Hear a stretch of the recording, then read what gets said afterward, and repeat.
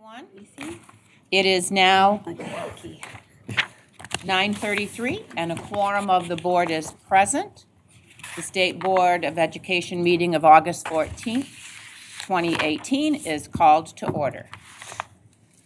The first item on the agenda is the approval of the agenda in order of priority. Are there any items board members would like to add or delete from the agenda? Cassandra? I would ask that we remove item P from the consent agenda and add it to discussion and approval somewhere else in the agenda. Support. I guess it would just go to, item to 14, discussion action items. Okay. Have a motion? Second? We vote on that um, amendment Separately? first, and then we'll vote on the approval of the agenda, okay?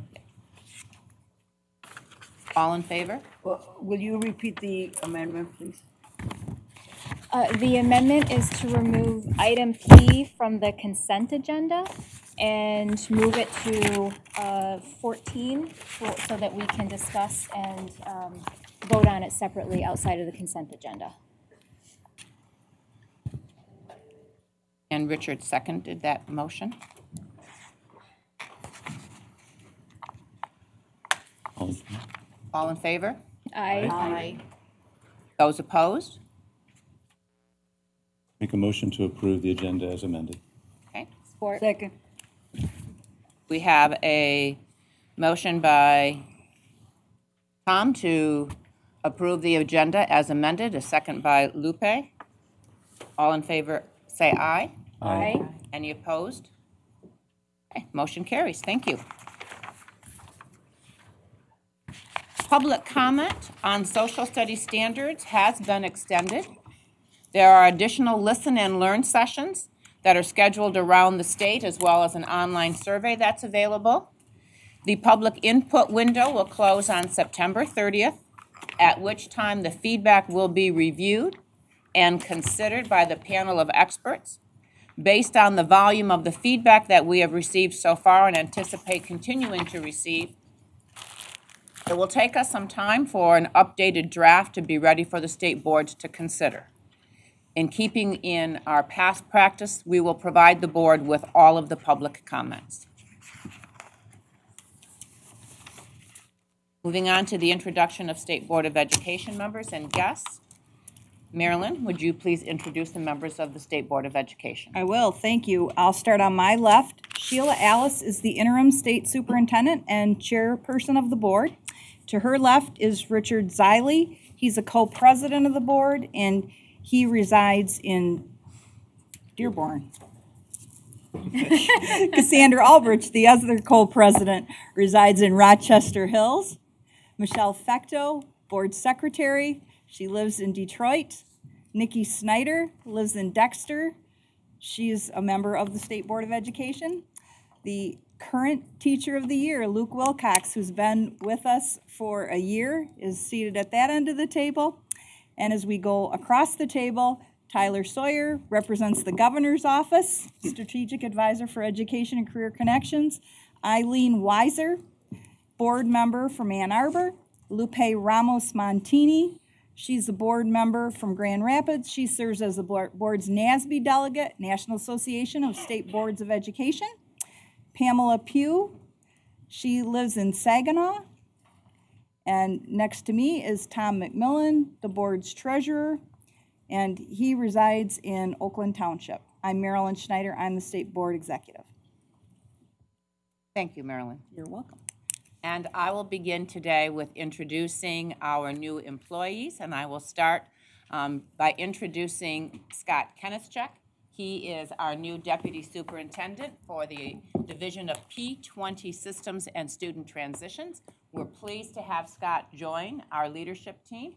And Scott, if you'd like to share a little bit about your background with everyone today. Sure, thank you, Sheila. So as Sheila said, my name is Scott Koenigsknecht, um, and I'm very grateful and pleased to join the MDE team. It's been a great couple of weeks. I started on August 1st.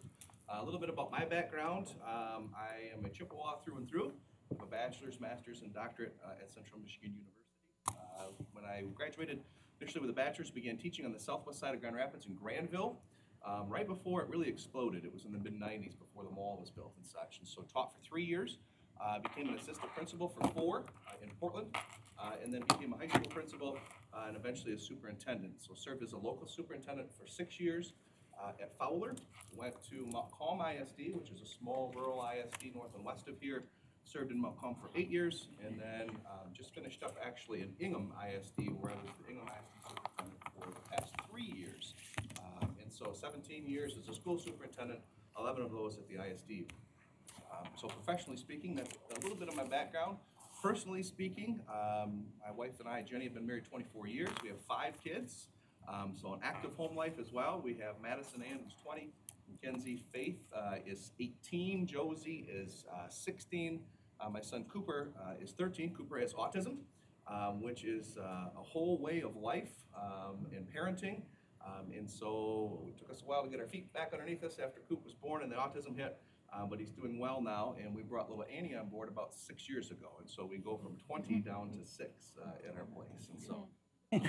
Again, pleased to be here. I've been fortunate for the past four or five years to be engaged in a lot of activities with the department from the field perspective. Um, and so worked with State Superintendent Whiston and Norma Jean Sass on some of the early top 10 and 10 work. Um, have been fortunate to be involved in the development of the ESIP, uh, the State Systemic Improvement Plan. So um, was able to bring a lot of that prior knowledge into uh, this role here. So Thank you, Scott, and it's it's a pleasure to have you on board with us. thank you. And Vanessa, would you please continue introducing new employees? Good morning, everyone. Uh, It's my pleasure to introduce Ann Green, who's just joined us in the Office of Educator Excellence.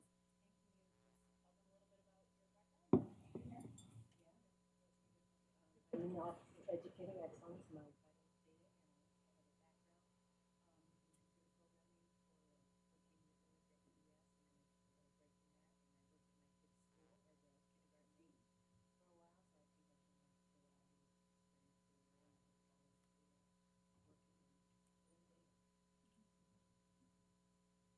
title is stated, And Kyle? Good morning, it's my uh, pleasure to introduce Stacy Lamper McFall with our Office of Health and Nutrition Services. Hi, I'm Stacy Lampton Hall, and uh, yes, I work for the Office of Health and Nutrition Services as a financial analyst. I come from Network 180, which is Kent County's community mental health authority. Uh, Before that, I was in banking. and since we started it, I have Kids and somehow eight grandkids. And I'm really happy to be here. Elizabeth Reed with the Library of Michigan, just on the other side. Services, and I'm the E-Library Coordinator. I have a marketing background, and I bring 15 years of public library experience. Deanna Barton, also Library of Michigan. the Library of Michigan as a student digitization. Um, I'm still in school. I'll be getting my bachelor's in business administration in the spring, and then I'll continue on to my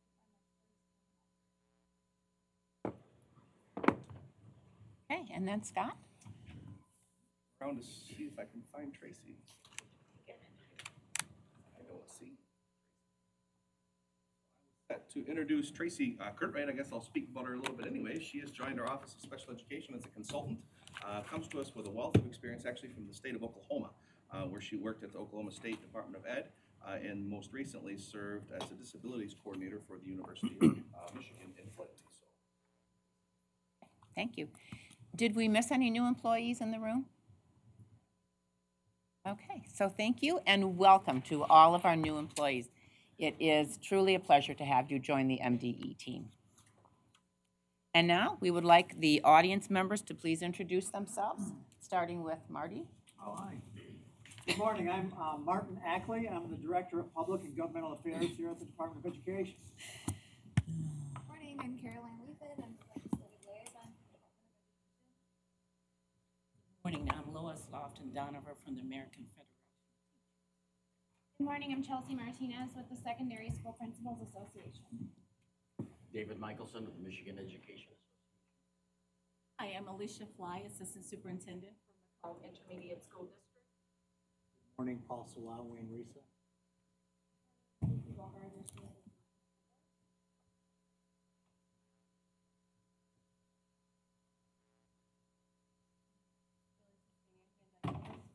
Good morning, Piper Wagner, Superintendent.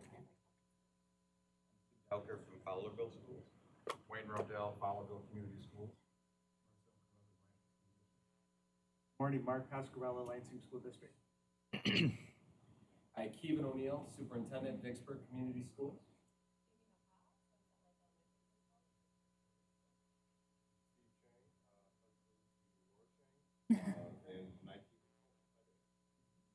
Chang, teacher at uh, Vicksburg Community School.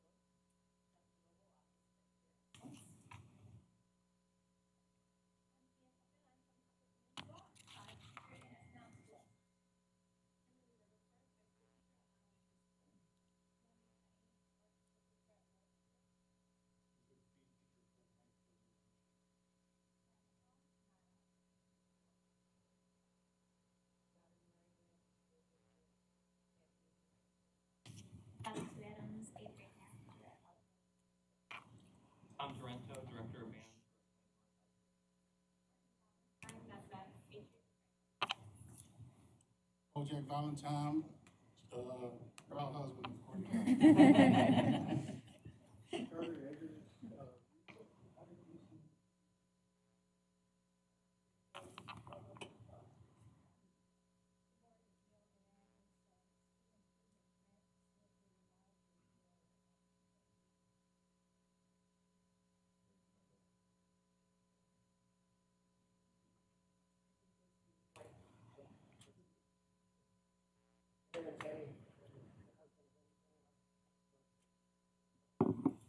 Pepin, proud husband, and Gina Pepin, also a teacher. Going along to the side? Yes. Uh, Dan Vandermeulen, middle school principal, Lowell area school.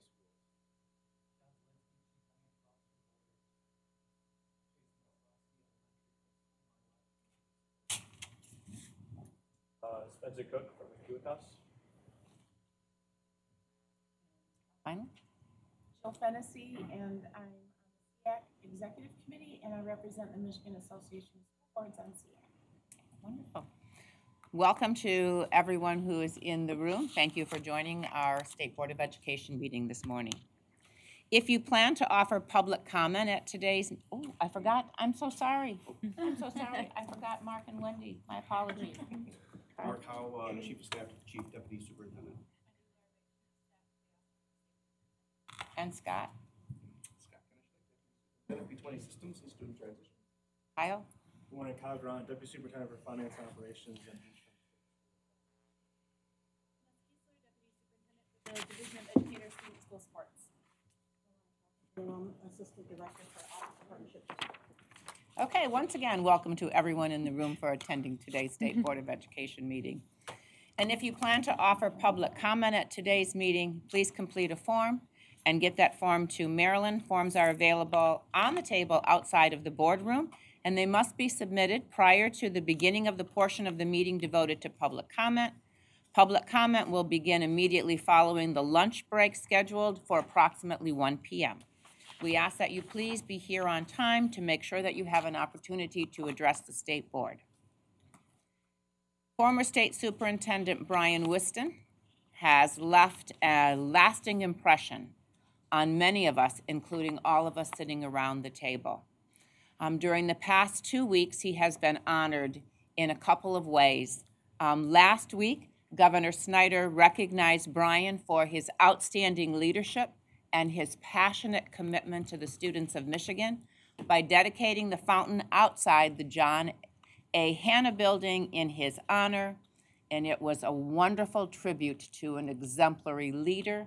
And we have a photo of the dedication. Beautiful plaque. Constant reminder to us as we pass by the fountain of Brian's leadership. Also, Brian has been named Policy Leader of the Year by the National Association of State Boards of Education. The annual award is given to national and state policymakers in recognition to their contributions in education. The award will be presented at the NASBE Annual Conference in October, and that's just a few months, a couple months away. Mm-hmm. As Brian's colleagues and his friends, we certainly appreciate his contributions and the recognition that he is receiving for those contributions. Moving on to the consent agenda, item three. We have two resolutions that require approval before we move to the presentations. Um, One is honoring the 2017-18 Michigan Teacher of the Year, Luke Wilcox, and the other is honoring the 2018-19 Michigan Teacher of the Year, Laura Chang. May I please have a motion to approve the resolutions? So Lupe? moved, So move, so move. Support. And support? Support. Support by Pam. Okay, any discussion?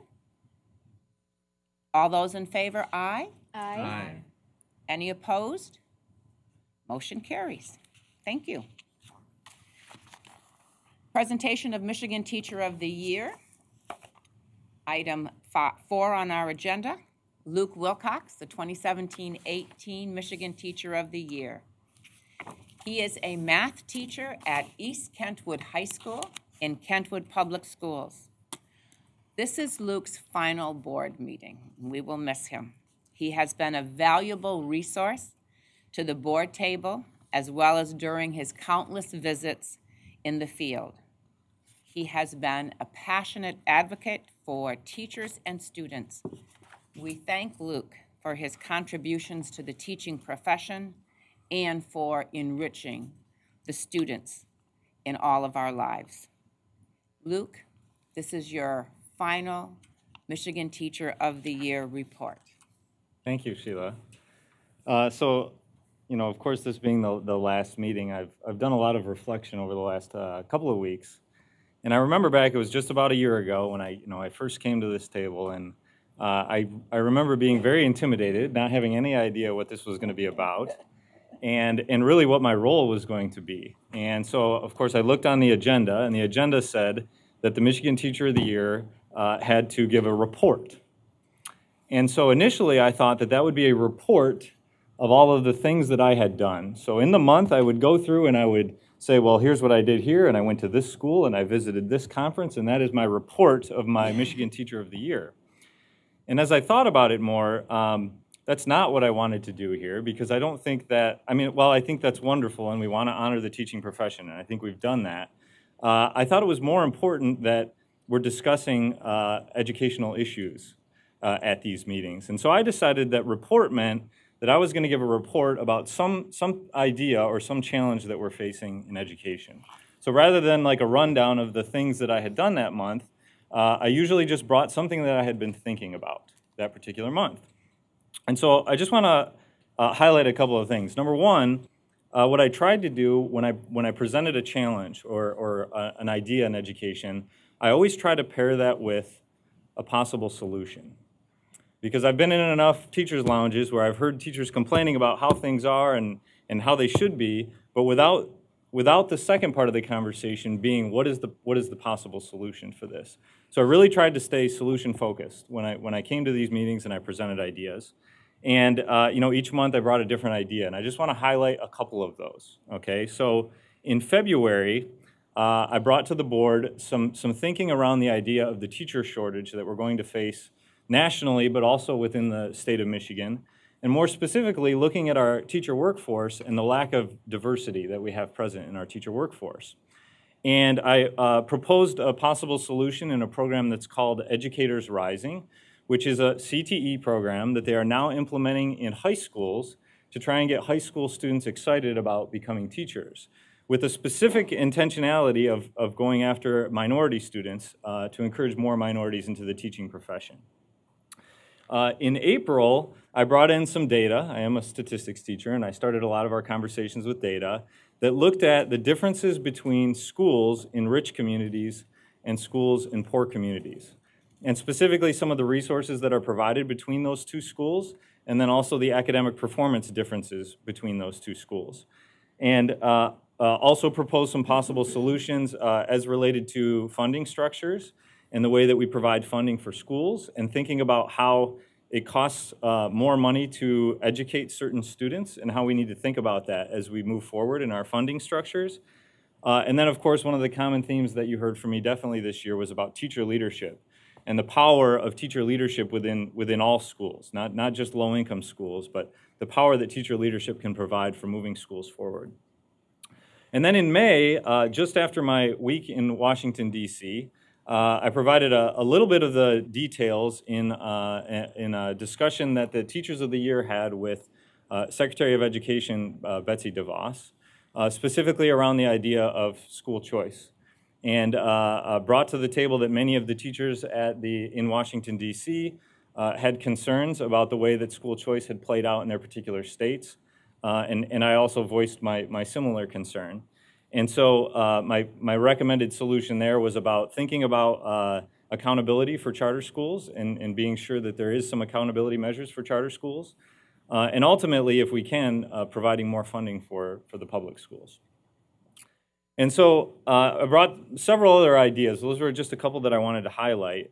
And uh, I think it's important that as we move forward, that we continue to be solution focused that we're not just talking about things that are, are, are, wrong or things that we'd like to be differently, but like how do we actually do that? And I cannot tell you how thankful I am for this, this year that I've had as Michigan Teacher of the Year. I have learned as much as I learned in my first year of teaching.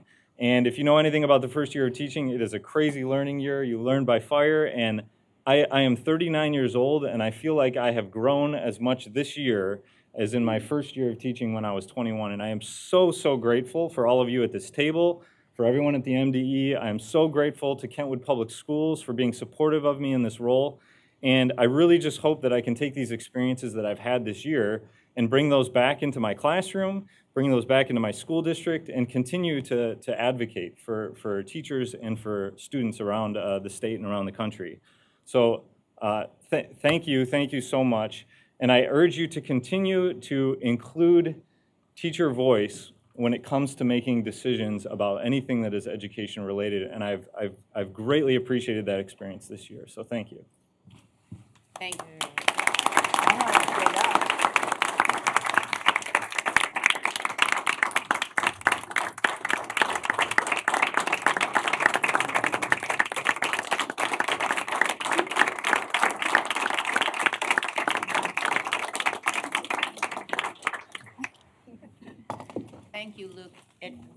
Personal note, it truly has been a pleasure to get to know you this past year and also to um, hear your reports every month. I have found them to be enlightening and insightful and solution oriented. So thank you so much for sharing your experiences with us and bringing some food to thought um, to the board table for us to consider. Thank you. Thank you. Can I say something? Okay. Yes, um, uh, you have me crying. uh, it, it, has been a ride. It has been a journey. It has been an experience to have you here sitting with us, making uh, comments about the decisions that we have to make. You have grown so much from when at this time last year to now, and I am so proud of you. I'm so proud of you. And I'm, I'm so proud that you are a teacher and that you will continue and not in taking what you learn to bring all the profession up. So all educators here in the room, watch this young man because he is has a lot to offer anybody, and he's from our side of the state, Lowell, and you know. All right, so thank you so much. Thank you so much for everything that you did. You are you should be very proud, very proud. Thank you, Lupe. Uh, Sandra? Very briefly, um, so I really appreciate your comments, and I've appreciated them all year long because I I agree with you. It's it's not enough just to raise what the problems are. You have to offer potential solutions as well, and it might not always be the best solution or the right solution, but at least you're thinking about uh, how do we fix something that we all notice might be um, not working well. And so the August board meeting for me is always one of the best board meetings because we really are celebrating great teaching and we get to celebrate all of the teachers that are here with us today. But it's also really bittersweet because we have to say goodbye to the teacher of the year who we've gotten to know over the last year. And so we will definitely miss you at this board table. You've been, uh, you've offered some great insight for us And uh, I hope that you continue to do that and continue to advocate because you're uh, definitely a powerful voice and we really appreciate it. Thank you. And now Cassandra and Richard um, will make a presentation to Luke. The staff will give it to you. Oh. The staff will give you that.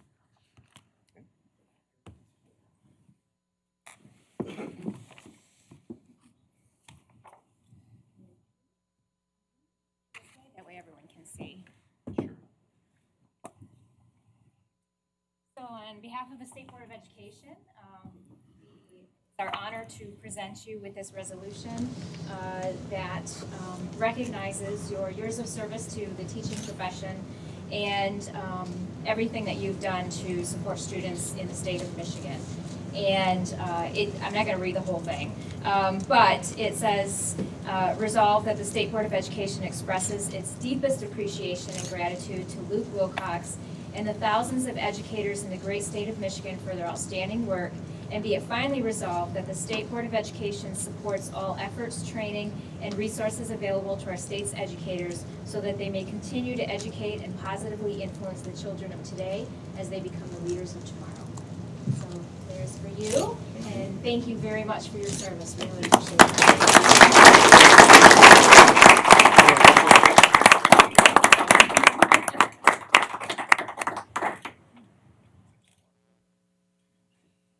Thank you. Thank you.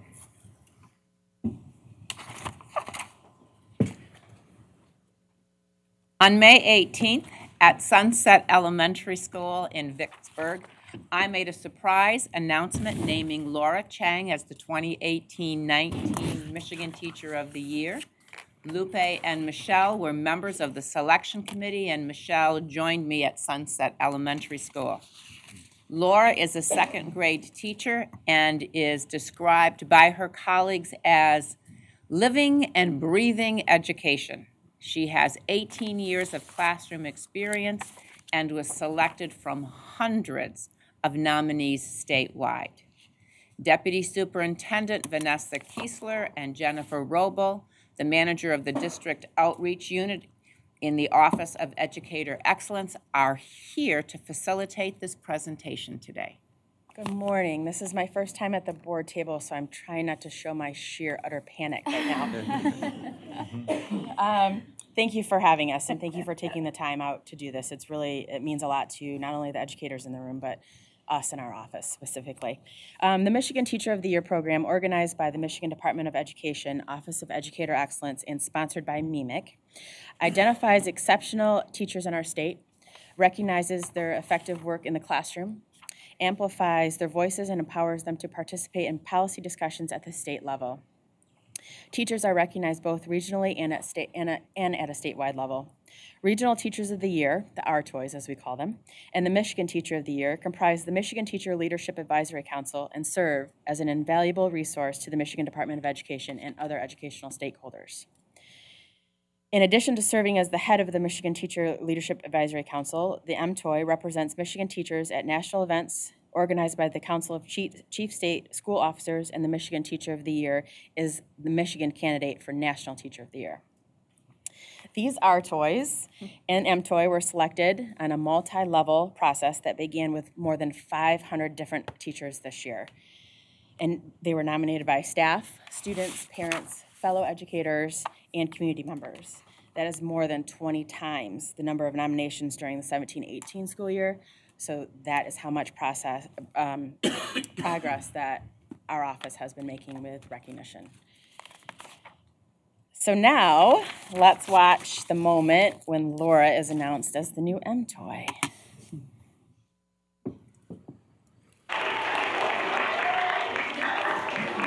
that there are more than 86,000 teachers in the state of Michigan. That's a lot of teachers. But there is one very, very, very important teacher that's in this today.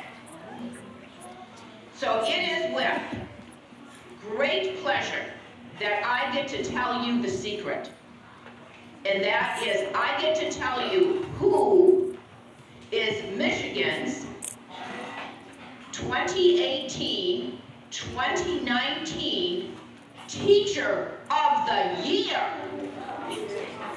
Are you ready?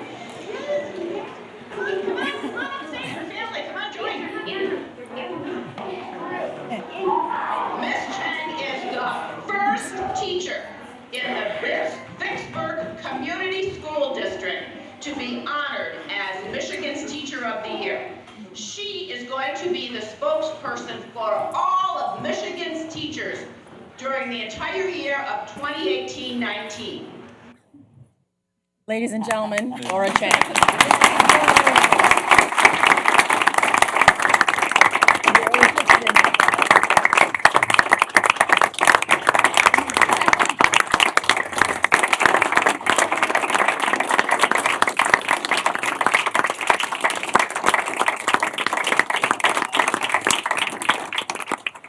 Oh dear, my my very proud son plays that on a loop, Um, and and every time I watch it, I get a little teary. It was just a it was an amazing day, a really special day, and I was so glad to have so many important people there to help celebrate that.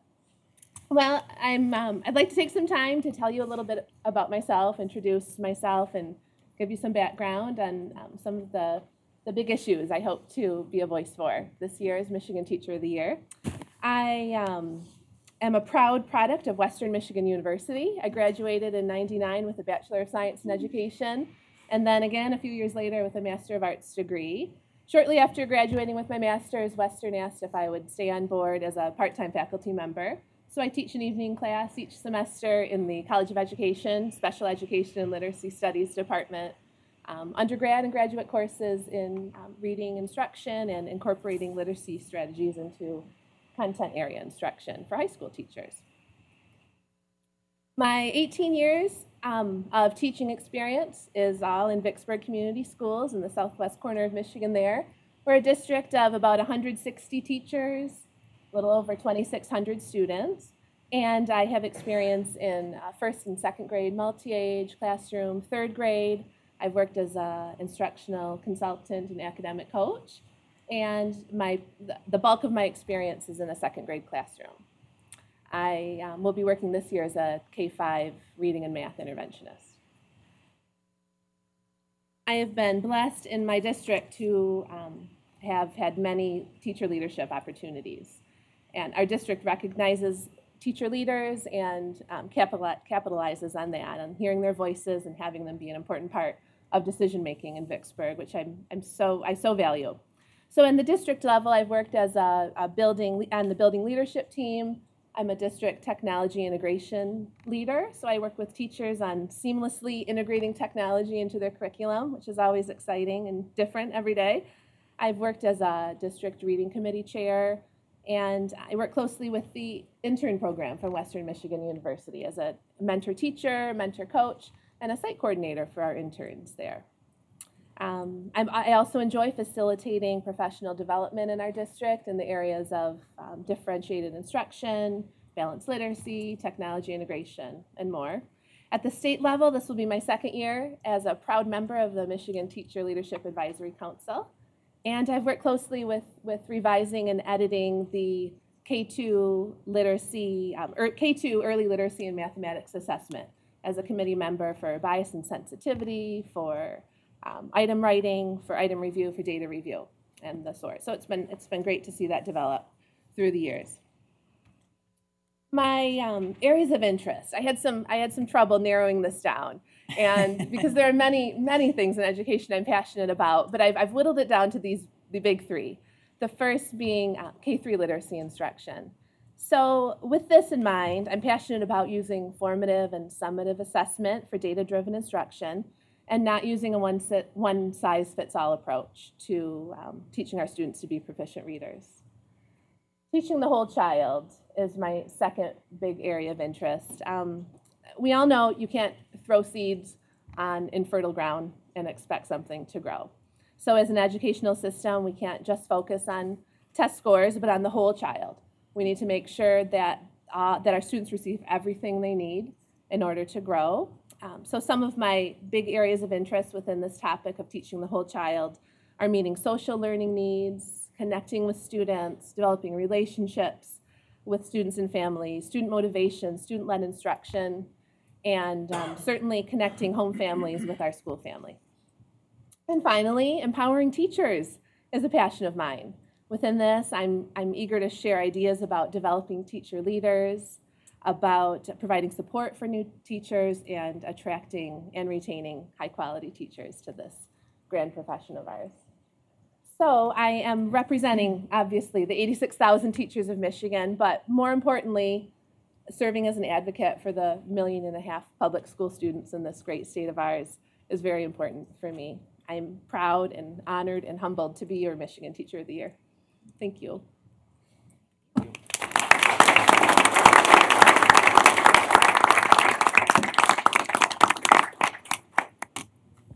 Okay, so first let me say that after the whole presentation, there's a reception downstairs in Ottawa 2, if anyone would like to join us. Um, we have light refreshments. And then also, after we make the presentation, we'll get pictures back here. Um, and anybody feel free just to stand up and take pictures, go anywhere. And then after they sit down, we'll start the next one, just so there's not mass chaos. Is that okay? Okay. Okay. Um, okay, so let's start with Regional Teacher of the Year, Gina, Dr. Gina Pepin.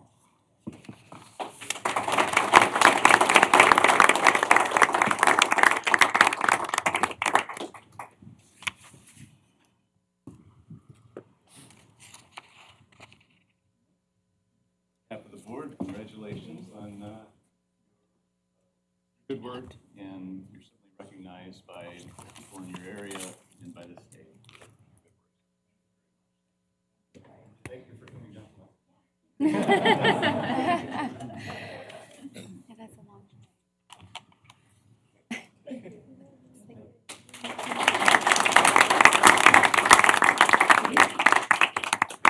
And let me say, I forgot to say, I apologize. Um, the teacher, the educator is also is getting a plaque, and then the school is getting a plaque um, to put up in their honor. Um, Regional Teacher of the Year from Region 2, Kimberly Regglesworth.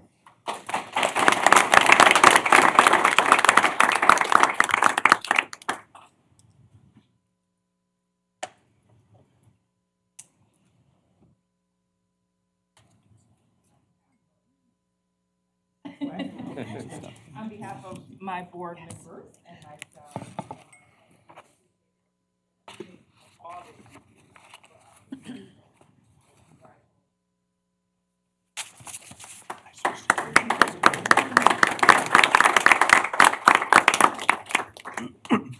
Kimberly is a history teacher at Onaway High School, and Gina is a reading specialist and literacy coach at, for the Escanaba Public Schools. Region 3, Wendy Tenney is a music teacher at Lowell High School.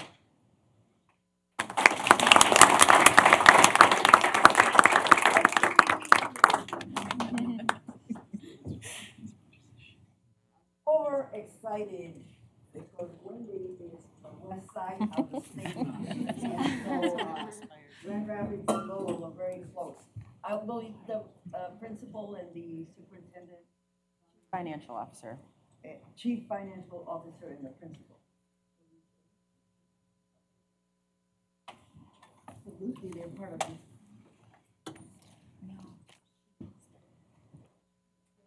So, uh, I am introducing Wendy.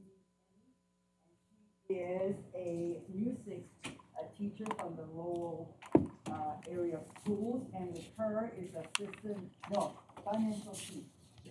Financial chief, uh, Nate Fowler. Is.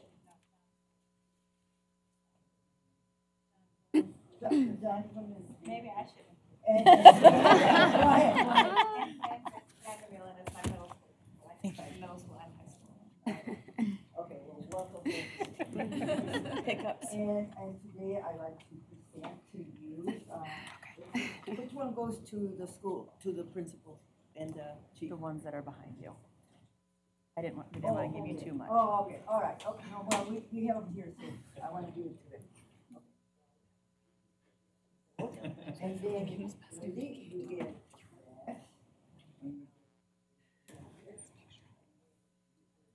Then we take of love and support the sheep and life. Uh, Wear this pin proudly. because Are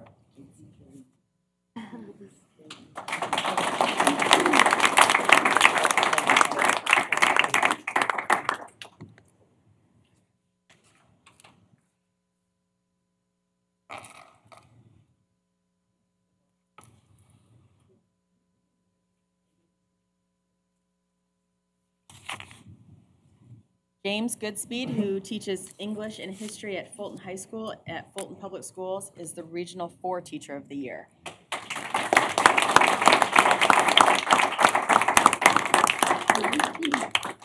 very special for me. I have a lot of favorite subjects. Oh, maybe a different.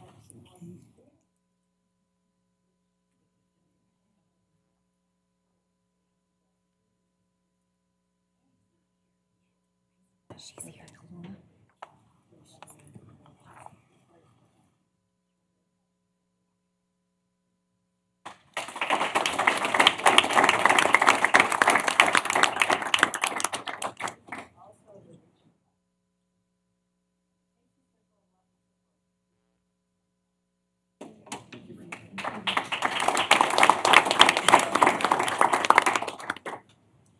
Regional Teacher of the Year in, in Region 5 is Karen Nickel. She's an elementary school teacher at Marlette Elementary School and Marlette Community Schools.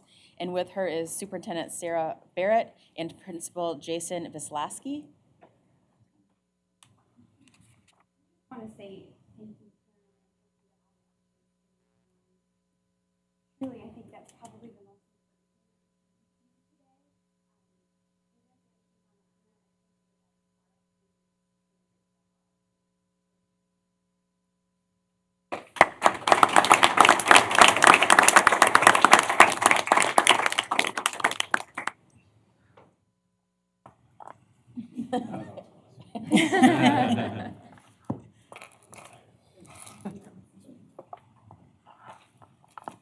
Region 6 Teacher of the Year is Robin Murray, who teaches English, Language Arts, and History at Lansing Eastern High School in the Lansing Public School District.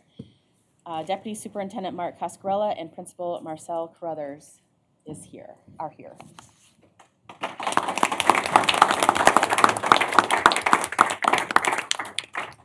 Um, on behalf of the state board, I, uh, I'm- um, and, uh, I had the privilege of being in meetings so many. They're all just wonderful. and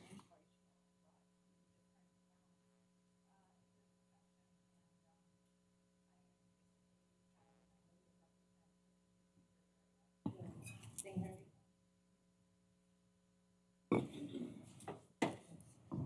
Mark, you have to get in there too. Oh, Somebody's missing.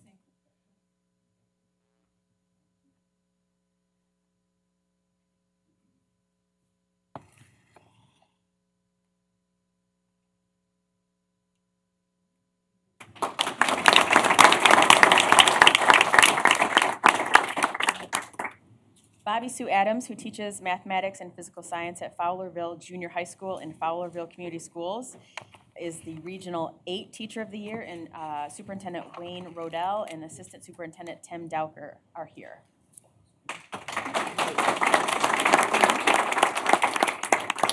Superintendent uh, Ro- uh, Rodell and uh, the Assistant Superintendent join us.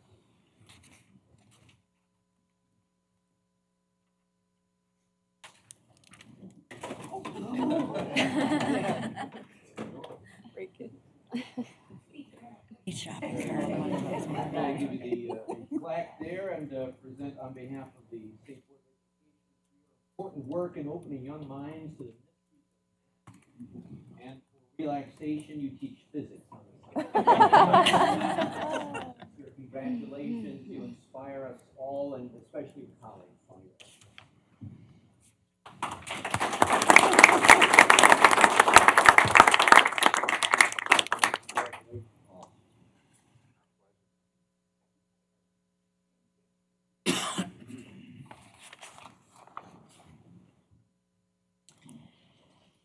Tom Torrento is our Regional 9 Teacher of the Year. Um, at the time that he was interviewed, um, he was the Director of Bands for Van Dyke Public Schools.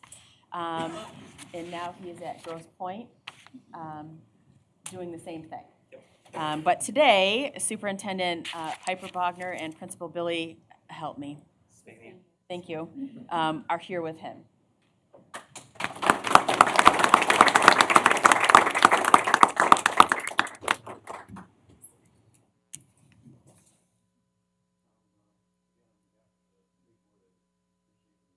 Celebrate your work and, uh, students to understand. Uh, that's good. I- I just wanna be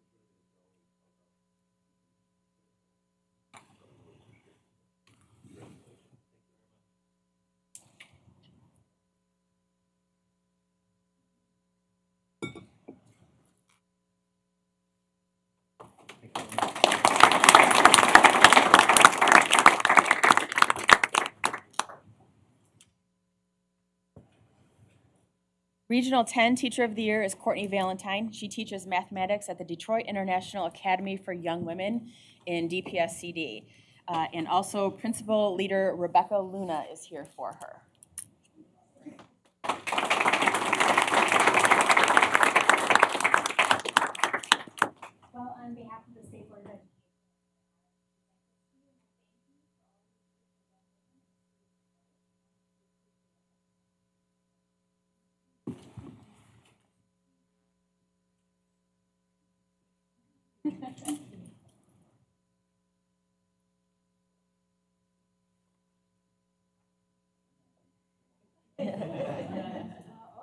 Now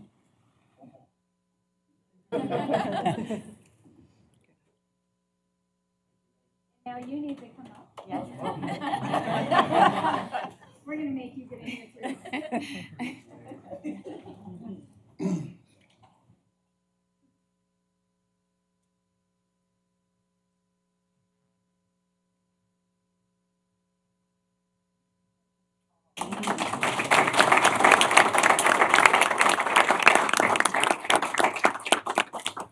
Um, I also want to thank Pam Harlan from the MEEMIC um, Education Foundation. They are a very um, proud sponsor, and we appreciate everything that they have done and will continue to do for this program over the um, very near future. She couldn't make it today. She sent me a text at 5:30 this morning saying that she had some business to take care of, but she apologizes. So I just want to give her a shout out and thank you to her very much. Now, Sheila, Dr. Zeile, and Cassandra. And now we will have the uh, awards to our Teacher of the Year. And it would be both Cassandra and Richard.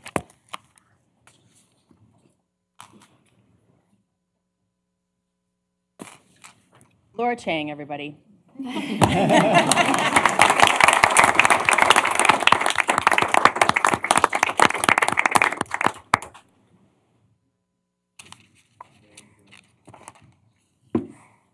I mentioned, you in- inspire people by, um, by your example. We teach by example as well as by our instruction. And uh, we are honored by your presence here. May I say, I really appreciate people with experience. You have 18 years' experience. We began at age 10. It's good we identify talent that young. Our sincere congratulations, and we look forward to working with you.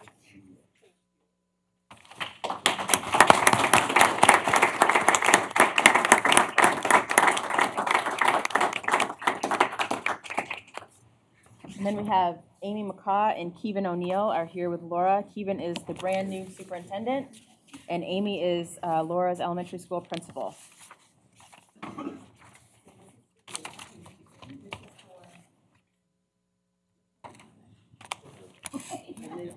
I'm confused congratulations. Thank you so much for all of you.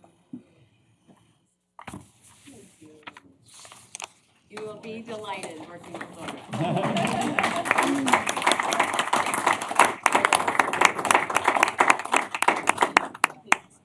Okay, done?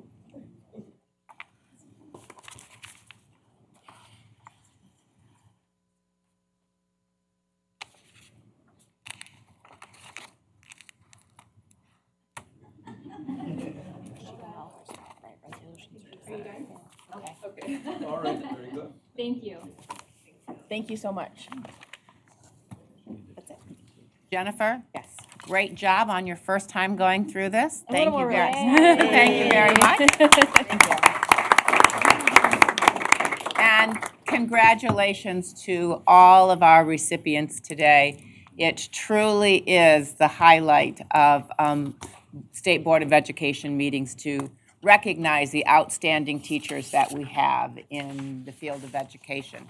And I'd also like to thank um, the guests who are joining us today for this special recognition. Um, So we are very honored um, to be able to celebrate the successes of the amazing, outstanding teachers that we have here in Michigan as represented in the teachers who are in the room today. So thank you for being part of this very special event.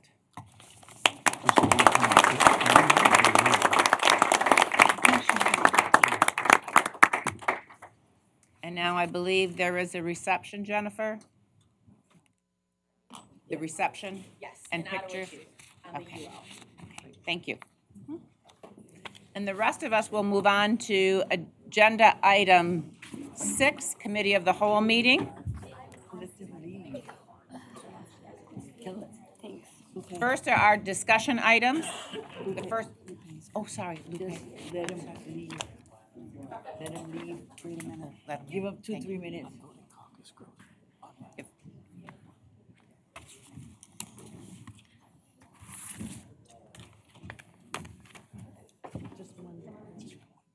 I thought, we were- go with him for a moment.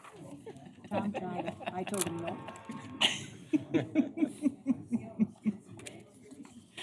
Carol will never be able to get us back. Hmm, that's right. Your doctor called me. Guess we don't get no cake. That's right. Coffee, tea, No. or water? Just water. Thank you.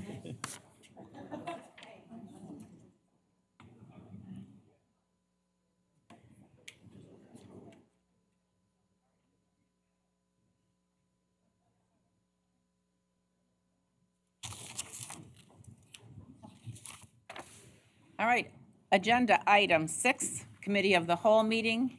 First item, discussion, and that is um, a presentation on proposed standards for the preparation of teachers of lower elementary, pre-K through three, and upper elementary grades three through six. Um, This is a presentation on the standards for the preparation of teachers in both lower and upper elementary education.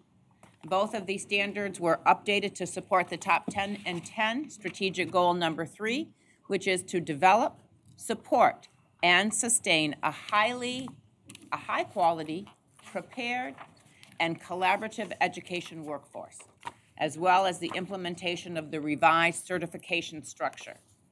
These standards will be placed on Michigan's current preparation, these standards will replace Michigan's current preparation standards for teacher of elementary education and will inform program development and continuous improvement efforts at Michigan's education preparation institutions.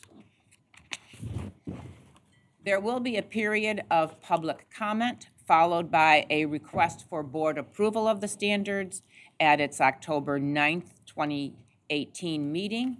Today's presentation is an information item only, and no action is required today. So I will turn the presentation over to Vanessa Keesler, Sarah Kate Levan, Sean Kottke, and Kelly Cassidy. Thank you for joining us this morning. Thank you, Sheila, and thank you, board members. And I'm going to turn it right to the team to uh, take us through our uh, proposed standards for the preparation of teachers of lower elementary and upper elementary. Uh, Good morning. Thank you. It's a- an honor and a privilege uh, and uh, a professional excitement to present to you these uh, proposed standards. Uh, As Sheila noted, this is in support of our Goal 3 on the Top 10 and 10 strategic plan to develop and support and sustain a high-quality, collaborative, and well-prepared uh, education workforce. Uh, We have a large project here. This forms just a piece, uh, and this is our, our main talking point. Over the past three years, uh, Michigan stakeholders have developed a Students First certification system uh, that prepares effective educators to use differentiated supports and meet the needs of the whole child. The purpose of these standards are three to promote effective early literacy instructional practices, uh, to establish a shared vision uh, for the knowledge and skills of entry teachers in PK3 and 3-6 levels uh, in Michigan, and to guide our educator preparation, uh, program development, and assessment. Note that this is part of a broader system of preparation and staffing. Uh, this is, these standards are not about current teachers in the field, but rather the primary purpose is to increase the capacity of our beginning teachers uh, for individuals seeking to add, uh, as well as people seeking to add uh, pre-K 3 or 3-6 endorsements to their certificate. It's the placement portion of this Venn diagram and is meant to establish a minimum standard of care for entrance into the profession. So why now? Uh, we have two issues at hand, currency and urgency. Uh, the current elementary teacher preparation standards were developed over the course of a decade, starting in 1997, uh, and what teachers are expected to know uh, about reading uh, and the teaching of reading largely predates the National Reading Panel recommendations from 2000 um, and provide very light coverage of the, the big five topics in the science of reading, uh, phonemic awareness, phonics, fluency, vocabulary, and comprehension. Uh, the current standards have uh, parenthetical references to these uh, with uh, an awareness and knowledge not exactly the instructional practices associated with them. Um, Michigan has also adopted uh, new standards and assessments for K-12 students beginning in 2010. So our standards need to be updated uh, in teacher preparation in order to prepare our teachers to teach to uh, and, and give, bring our students to success in those standards and assessments. This is a matter of some urgency.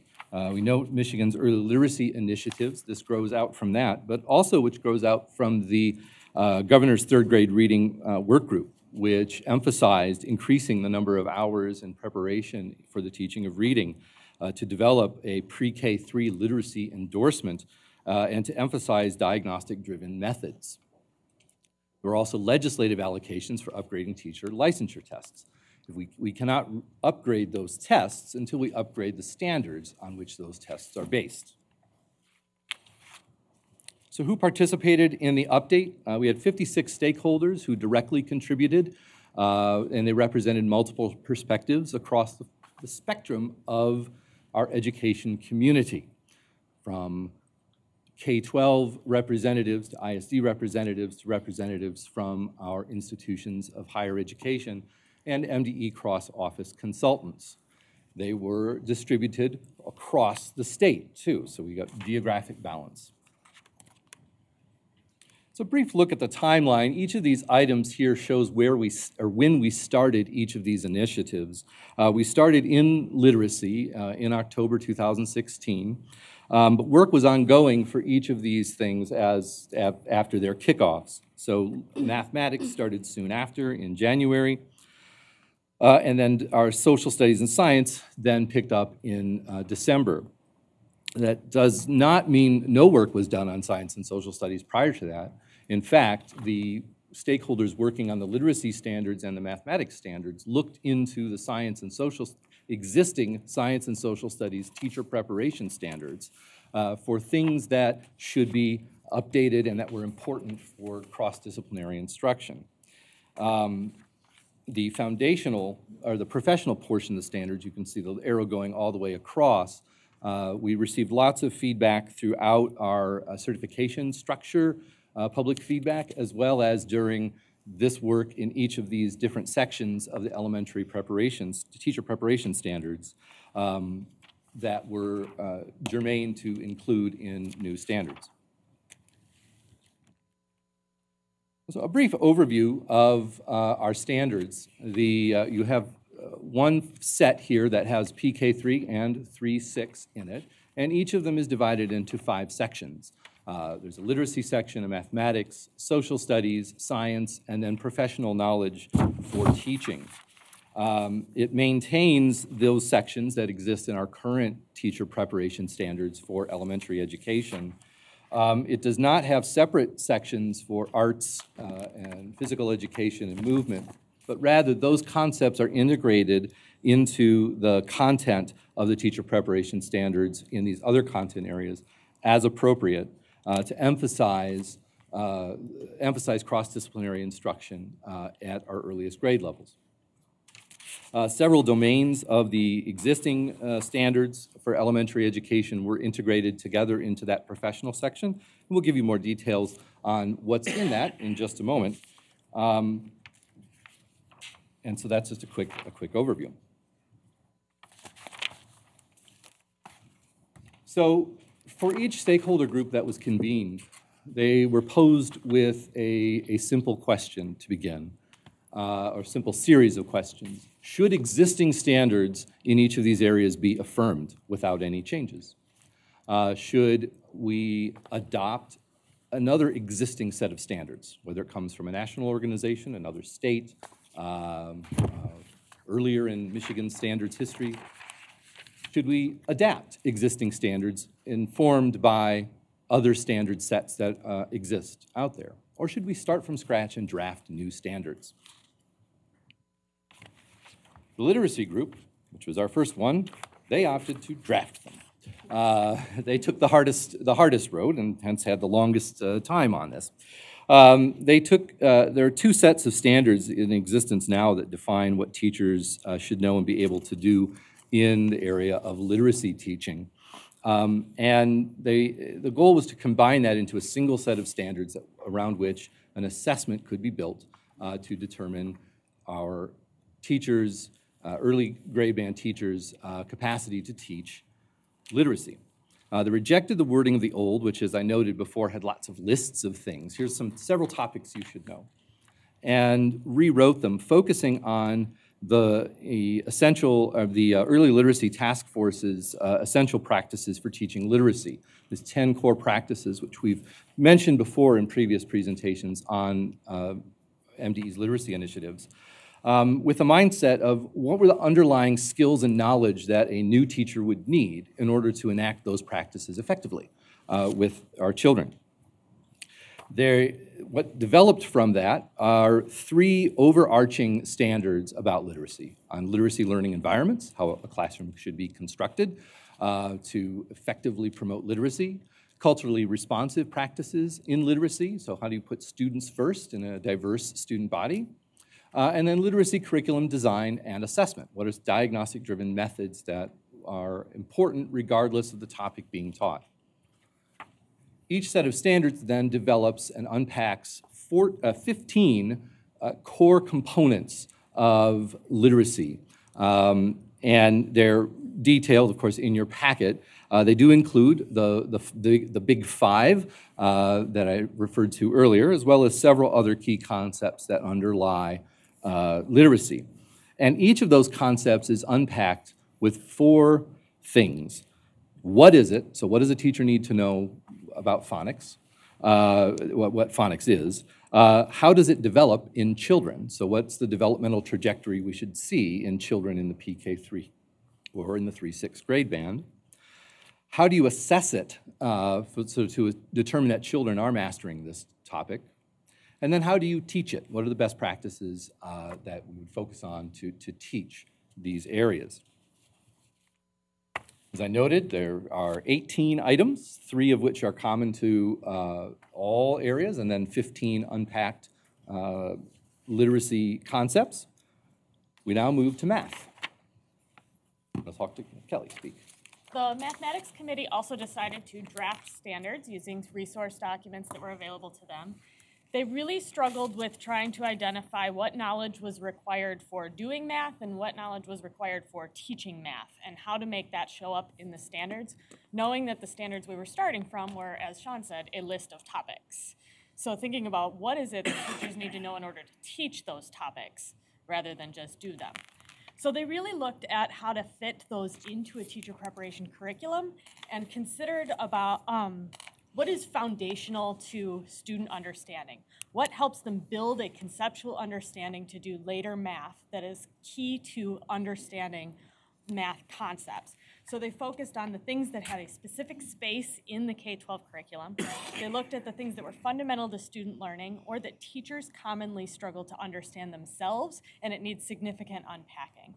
And in doing that, they identified two basic areas. They have the mathematics-specific teaching practices, thinking about what mathematics instruction looks like in general. What does the classroom look like? What does it look like when you're doing small group and whole group work in mathematics? And then they also focused on that mathematical knowledge for teaching, those conceptual understandings that teachers need to have.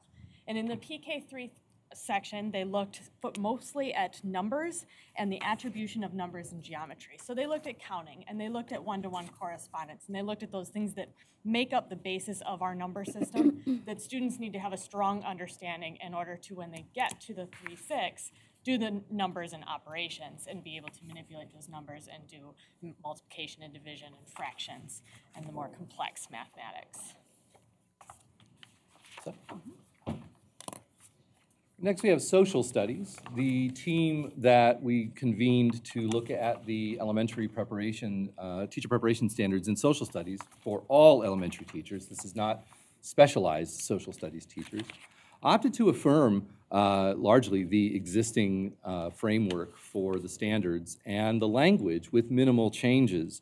Um, uh, to note, they changes that they made in the language were to incorporate some research-based teaching practices uh, that the, the National Council for Social Studies promotes, um, and to update the language to defer, instead of having a list of topics, like they will know the following five eras in American history, to defer to the content of our K-12 standards.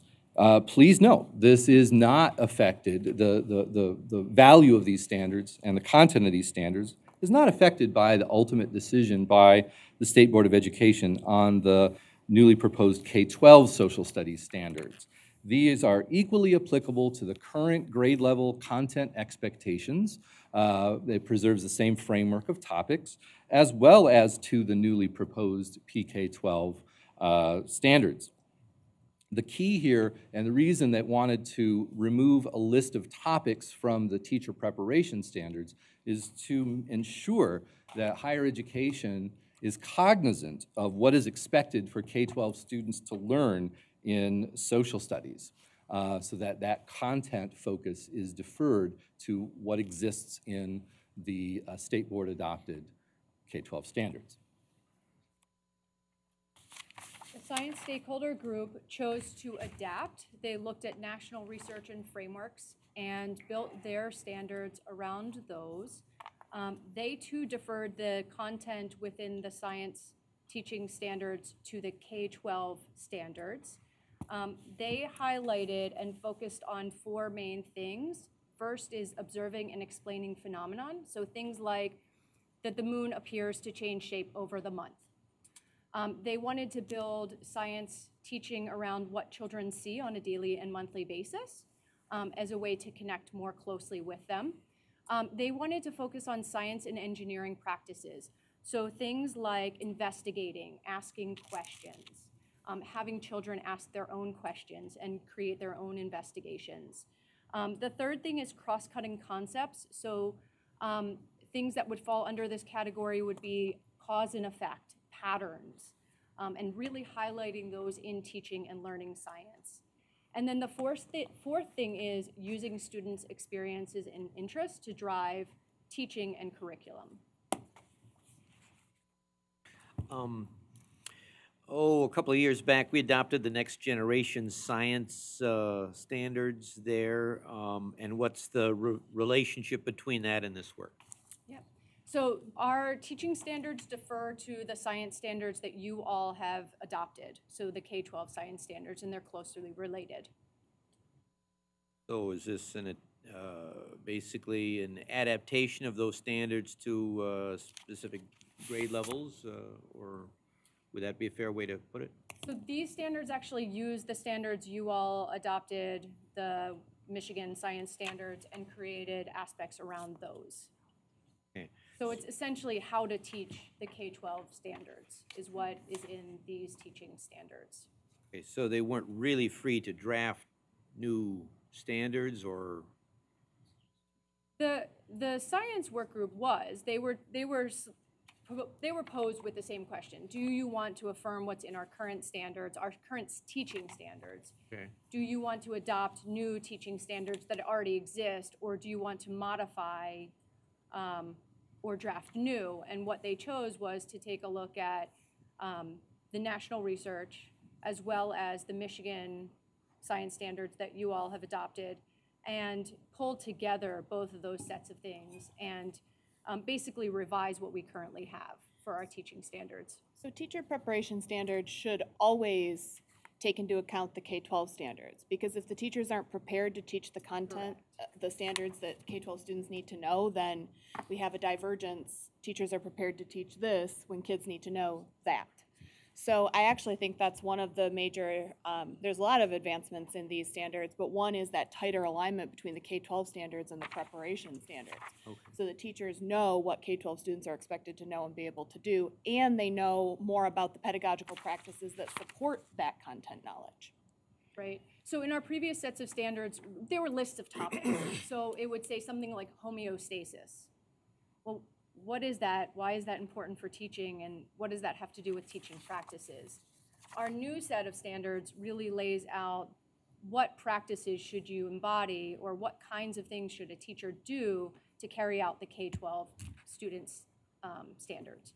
So for instance, focus on the phenomenon, so what children see every day, as the basis for having discussions about those things and creating investigations. And it truly aligns with the science standards that you all have adopted for K-12.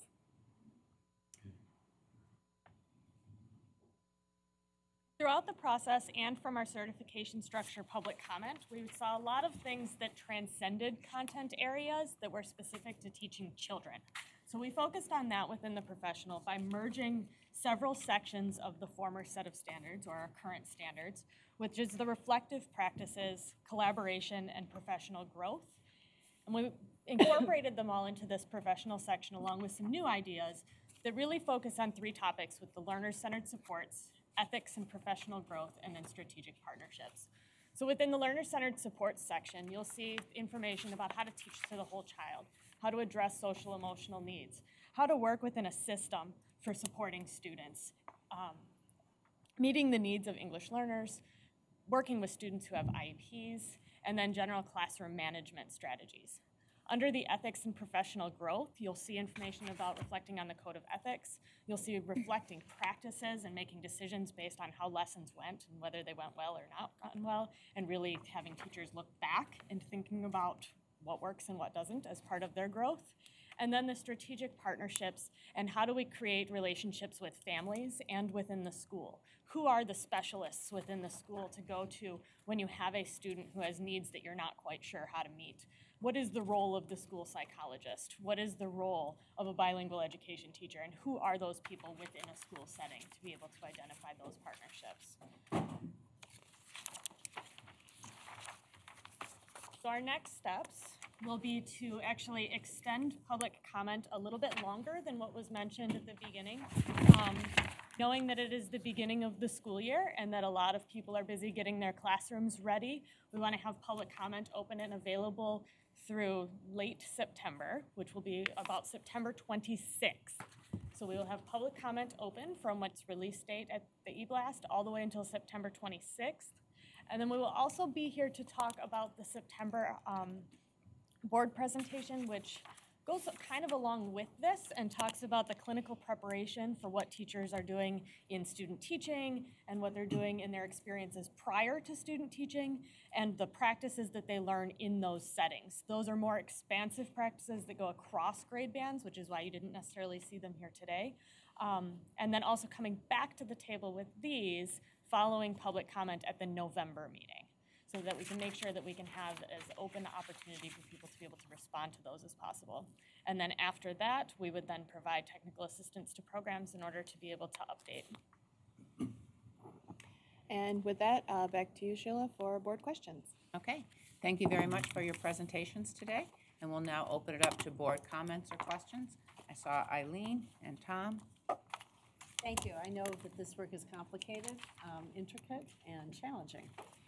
Uh, I wanted to ask, I, um, recently, I've, I've been involved with Teaching Works, which is Mhm. an effort by the University of Michigan to work with educating, uh, educator, pr- uh, professional education programs, TP, EPIs, across the state and nationally. And one of the things that was pointed out was that a number of ed schools don't have a way to see whether the practices they're teaching their candidates are effective in learning. I was um, surprised by that. It's a sort of a basic quality control that you have in the rest of the world. Just does your product work enough so that people need it and want it? Um, and I wondered whether the department has any, um, uh, in its supervisory role of teacher preparation, has any ability to uh, ask and require dis, uh, uh, educating, edu- I can't talk today, so, EPIs to um, uh, document um, that practicality because um, uh, we're hitting them with new standards, we're, uh, new K-12 standards in a variety of areas, and now we're asking them to substantially change how they're preparing educators. What do you see in the field of interest in this, enthusiasm for it? I know that there was pushback on the original discussion about changing the standards for K-5, actually K-8, I think.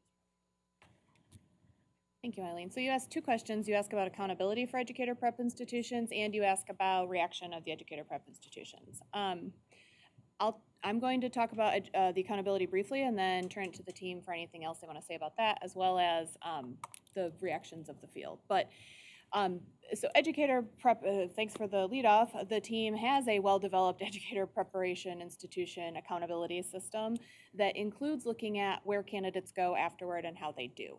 Um, that's under some, we're look, taking a look at that again, making sure it's 10 and 10 aligned, but we, we have been doing that for five, six, seven, a number of years. Uh, I can't remember how many. So um, there is that quality control measure, and they also go through their accreditation visits where there's kind of a deeper dive into um, student products, outcomes, that sort of thing. So that is separate from the standards. I mean, it, it relates in the sense that how um, what we want them to be doing to prepare their graduates relates to their outcomes, but the educator prep accountability is uh, we'll we'll alter like we'll um, adjust it to take into account the new standards if if they're passed. So it's kind of like any accountability system; it follows from the expectation. So Let me just ask, dive down a little bit deeper. What I'm actually asking is if there's any method to have them show that when they, um, uh, a student teach, for example, in, in an institution, that the methods that they're using are uh, effective for kids. And I, I hear you that you're tracking where, where new teachers go and you're getting feedback, but that's not the same as being able to say to the program, um, gee, uh, you're working on this, you've just taught these students for two years, and uh, their student teaching isn't matching what the, um, the state standards are for educator preparation. We don't have a mechanism for that, and I'm wondering if we should. We do have two other things. Um, we use their educator evaluation labels and track them back to their institutions. So all beginning teachers within the first three years get tracked back to the institution in which they were prepared. So we take a look through our EPI score at those labels and monitor institutions based on that. And then Sean has a little bit more information. We do have mandatory accreditation requirements in Michigan for EPIs. And part of that is tracking data back to the institution about their candidates and completers. I'm not being critical, I'm just saying you're talking about a reactive assessment that could take two to five years for feedback, in which time they've produced more teachers who may not be matching the classroom. And I don't know what we can do anyway um, uh, to nudge them to say, we know this is hard for your educators, your professors to change their practices, but without that, schools aren't going to be able to teach children well. Well, We have, so as, as Sarah was mentioning with our, our accreditation, uh, one of the standards is program impact, uh, uh, candidate and completer impact on student learning. And pr- the programs have to produce data showing that their candidates make an, a positive impact on student learning, in student, in, in student teaching as well as in their, um, their initial placements as, as employed teachers. Um, and that is a challenge for many of the institutions. Uh, we have a huge cohort of institutions going through their national accreditation in 2019. Um, so we'll be able to get more, be able to see more of the data that they're producing. Um, but the second piece, and this previews a little bit of what we'll be talking about here in September, is we are partnering with Teaching Works on the, uh, the high leverage practices and the and adopting those as core sort of core practices that, that all teachers should be able to demonstrate. And as part of that work, they are developing with their Michigan Program Network, which is right now six institutions uh, around the state, a series of assessments to be deployed in student teaching placements um, that measure candidates' uh, behaviors and, and impact and, and enactment of effective practices. And our goal is to use that partnership to disseminate those assessments out, work on making sure we have valid and reliable assessors uh, in the field um, so that we have more um, smoothness to the, the, the picture of teacher competencies emerging from our teacher preparation institutions. That's reassuring. Thank you. We're excited by that. Thank you. Tom? Um, Looking on page six, um, L2, B and C, it says that the well-prepared beginning teachers of literacy will select instructional materials that value and reflect the multidimensionality of diversity represented in society and children. And I don't know what that means. Uh, Could you, I mean, I guess under each of these, um, like an L2, B, C, D, and all of them, all of them included in this document, is there something behind each one of these one-sentence statements that actually expand on what they're talking about, or is it up to the college to decide what they want to, how they want to interpret that and how they want their teachers to understand it, or? Uh, Excellent question. Uh, Thank you. First, let me unpack multidimensionality. Um, When we talk about diversity, we want, and we've, we've been trying to promote this with teacher education uh, for quite a while now, we don't want diversity to be seen as a single dimension, skin color and race. Um, But rather, we have other kind, we have other diversities, uh, socioeconomic diversity being most impactful in our schools, language uh, diversity, ability uh, diversity. And a child could be situated in any, any constellation of, um, of, of diversity, right? They, there, there's. Is there any limits to diversity? I mean, you know, uh, a bully could be diverse. Uh, You know, I mean, you know, is there anything that you don't want to value? Or are we, is there anything, any context, anything that we're saying, this is how far it is and we're not talking about these things? So again, let's talk about the purpose of these standards. They're to talk about what our teachers, what a well-prepared beginning teacher will know how to do. And we want a well-prepared beginning teacher to know how to understand the multidimensionality of diversity in their classroom and reflect that in their teaching practices. These standards won't make judgments on how much diversity is too much diversity. That's not Or what what, well, it says value. I mean, when I see the word that value value, and reflect value that there is lots of different types of perspectives Okay. and diversity in the classroom. I mean, I think the question of what kind of diversity might not you value is not something these standards will weigh in on. And I think that's an interesting philosophical question. yeah, I I would hope they But, wouldn't. right, it, but it's to say that as the teacher, the more you, and going back to Laura Chang talked about the whole child, you know, the more you understand all of the uh, students in your classroom, the perspectives, and the perspectives not in the classroom, the better you are as a teacher to help situate the learning in a way that helps the students really engage in the world around them. So maybe those that will be implementing this understand that. That's what I'm wondering, is there anything behind, like, for example, L2B? I mean, is there something that, that supplements it and says, this is what we're talking about? Yes, we have a and This glossary. is what we're not talking about? Yeah, about? we're, we're building a glossary for all those key terms uh, that will accompany. Is that And it's- something that we're also kind of approving then? Because, I mean, if, to define what we're talking about seems to be pretty important and what we're not talking about.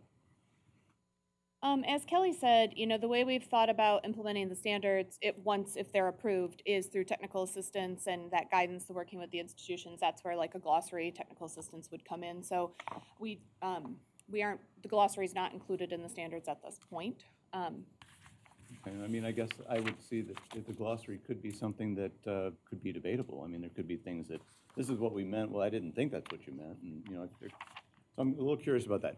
Moving on, and I don't have too many, but I do have a couple. Uh, C, right below it, critically analyze texts with children for social and cultural biases by analyzing language and visual representations in print, digital text and media that perpetuate gender, social class, and racial ethnic stereotypes.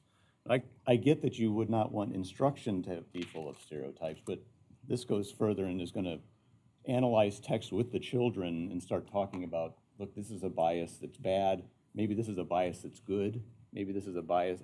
I mean, is there judgment in this sentence saying, again, we bias against certain things that are, we view as not good, and we, you know, and there's certainly stereotypes that are bad and, and uh, biases. So again, this seems, I, I want to make sure, I don't, I don't quite understand what this is getting at because it seems like there's value judgments involved here, certainly ones that are very appropriate, but I didn't know, again, are there guidelines to these stereotypes and biases or, or are we just saying instruction? I, again, I could understand instruction shouldn't have biases, stereotypes. I understand that.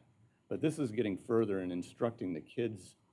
be critical thinkers and to be able to understand how texts convey social and cultural biases, which any text, in your point, could have a social, social or cultural bias. And being a good, again, a good citizen of the world and a good critical thinker would suggest that children know how to recognize that and engage with it and make judgments about it on their own. Okay, so this. So what would you- do you have does- a- Does this say that they, the teacher won't in, help the kids make those judgments? Or they won't be instructing in those judgments? Or is that something underlying, you know, the guidebook or whatever? That will say, this is not, what we're not talking about, this is what we are talking about? Struggling a little to understand the exact nature of your concern. That, I, can you say it again, maybe? Well, I'm- just, I understand that you're gonna let them recognize biases, that's important, you know, and there's bi, I recognize biases all the time. We could say Fox News has a bias, and NB, you know, MSNBC has a bias.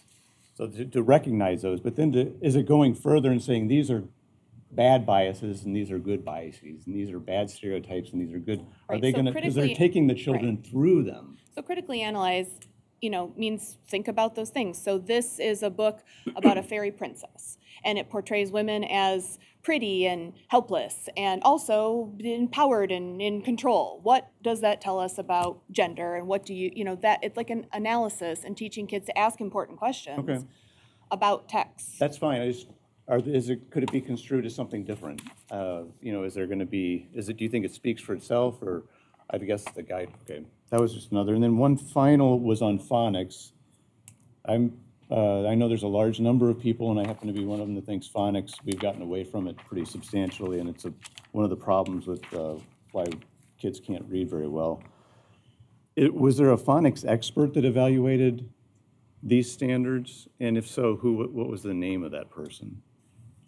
Uh, multiple uh, Can phonics I- experts. Can I get Um, the names of those? Uh, Should we send them to you? I can give you, Yeah. we've got a list on the, of people on the back we can identify. I'd, I'd like to know specifically who looked at these and said, these are, these are good instructional methods uh, to instill in teachers regarding phonics uh, teaching. So I'd like to get those names Yeah, and well, I'll, understand I'll, their I'll give you two right now. Uh, Our main researcher, uh, Nell Duke, uh, is expert in all of the early literacy space, not just, not just within phonics, but knows what the research uh, tells us about effective phonics instruction. Um, And Mary Lose uh, from, you know, Oakland University was one of our uh, outside readers uh, who evaluated and focused very much on this section. But they are not focused, okay, you say they are experts in phonics, instruction. Yeah, Among other topics, yeah. But they, yes, they are. Okay. And then uh, this doesn't talk about time, uh, you know, amount of time, you know, involved with phonics and phonetical awareness and does it? I mean, we're, is that up to Up Time in to the who? classroom or time in the Time in the classroom. So these are not K-12 standards, they're standards for Right, teacher okay, preparation. time in the instruction of the teachers. It is up to the program to cover efficient, or effectively and efficiently all of these standards. Or to be able to, okay, be able to, because I mean, the, the, the other one we looked at had talking about they need to be able to take children through this and that. They need to be able to um, really get, okay, I mean, it's not a superficial understanding of phonics. They need, is there something that says they need a deep understanding of phonics?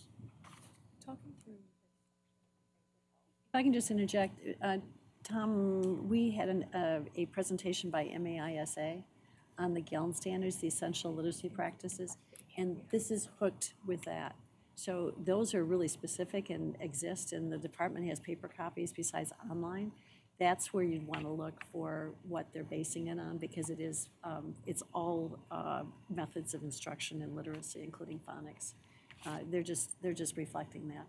And we had it just, I mean, your surgery was in April? March. Mar- March. I think it was at the, I'm wondering if it was that meeting. But it's- It was it's in refer- March, because it was March's reading month that we did that No, presentation. It's, it's, it's, uh, uh, the link is in here, and I think that will give you the answers for your next set of questions. I I can also add, our standards uh, in literacy, prep- our teacher preparation standards in literacy have never had this level of detail about phonics. Um, And the expectations, uh, as I noted earlier, they had had simply, they will know uh, what is and how to teach phonics, period. And then, and that was as much detail as, as it had. This tells us, it unpacks what phonics is, uh, how phonics should develop across the, the, the life, the lifespan, the development span uh, of a child in these grade levels, um, how you effectively assess it, and how you teach it. Um, and the order in which these uh, topics occur, particularly in the PK3, is indicative of the foundational importance of each of these things. So uh, phonological awareness typically precedes phonics, uh, you know, an awareness of the sounds of the language before you then make the sound print match. Um, and having it early in the set of topics uh, is, is intended to give us that emphasis that this is uh, foundational. Okay, I have down Michelle, Richard, Eileen, uh, did you? That- that was, uh, really all I wanted to interject. And then Cassandra and Nikki. Okay.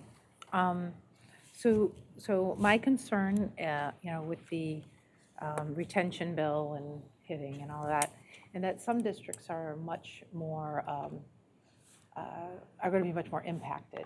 So when, you know, I know you talk about differentiated instruction for the students, I'm wondering if there's any sort of differentiation for the uh, prep programs because they feed into certain districts.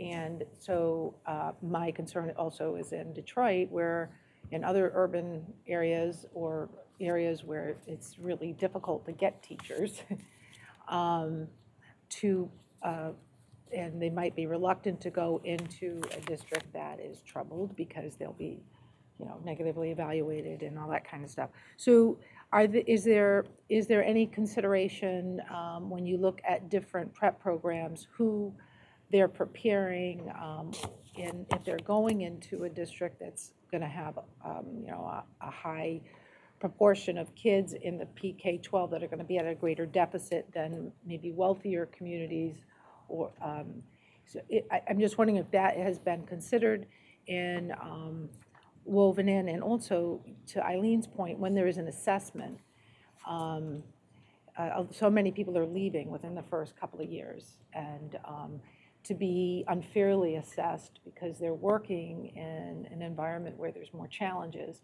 So, um, so are, are there considerations um, that differentiate where they are and the challenges they're dealing with um, in, in, in this model? Sure. Um, no, uh, there aren't um, at face value because every candidate must meet these standards. Every program must meet these standards. Every candidate must pass the licensure exam that will go with, or exams in this case, that will go with the set of standards. Um, what we do have though, and you'll see this next month, is the two companion things that will come forward, which is heightened clinical experiences. And those have to be met in certain areas, so. Want to refer to the diagram? Oh, okay, yeah. So overlaying this set of standards are two other things. One are the clinical experience requirements, and those are extremely heightened and have um, an increase in other aspects that you'll see, such as diversity aspects and other, um, I'll call them competencies for a lack of another term.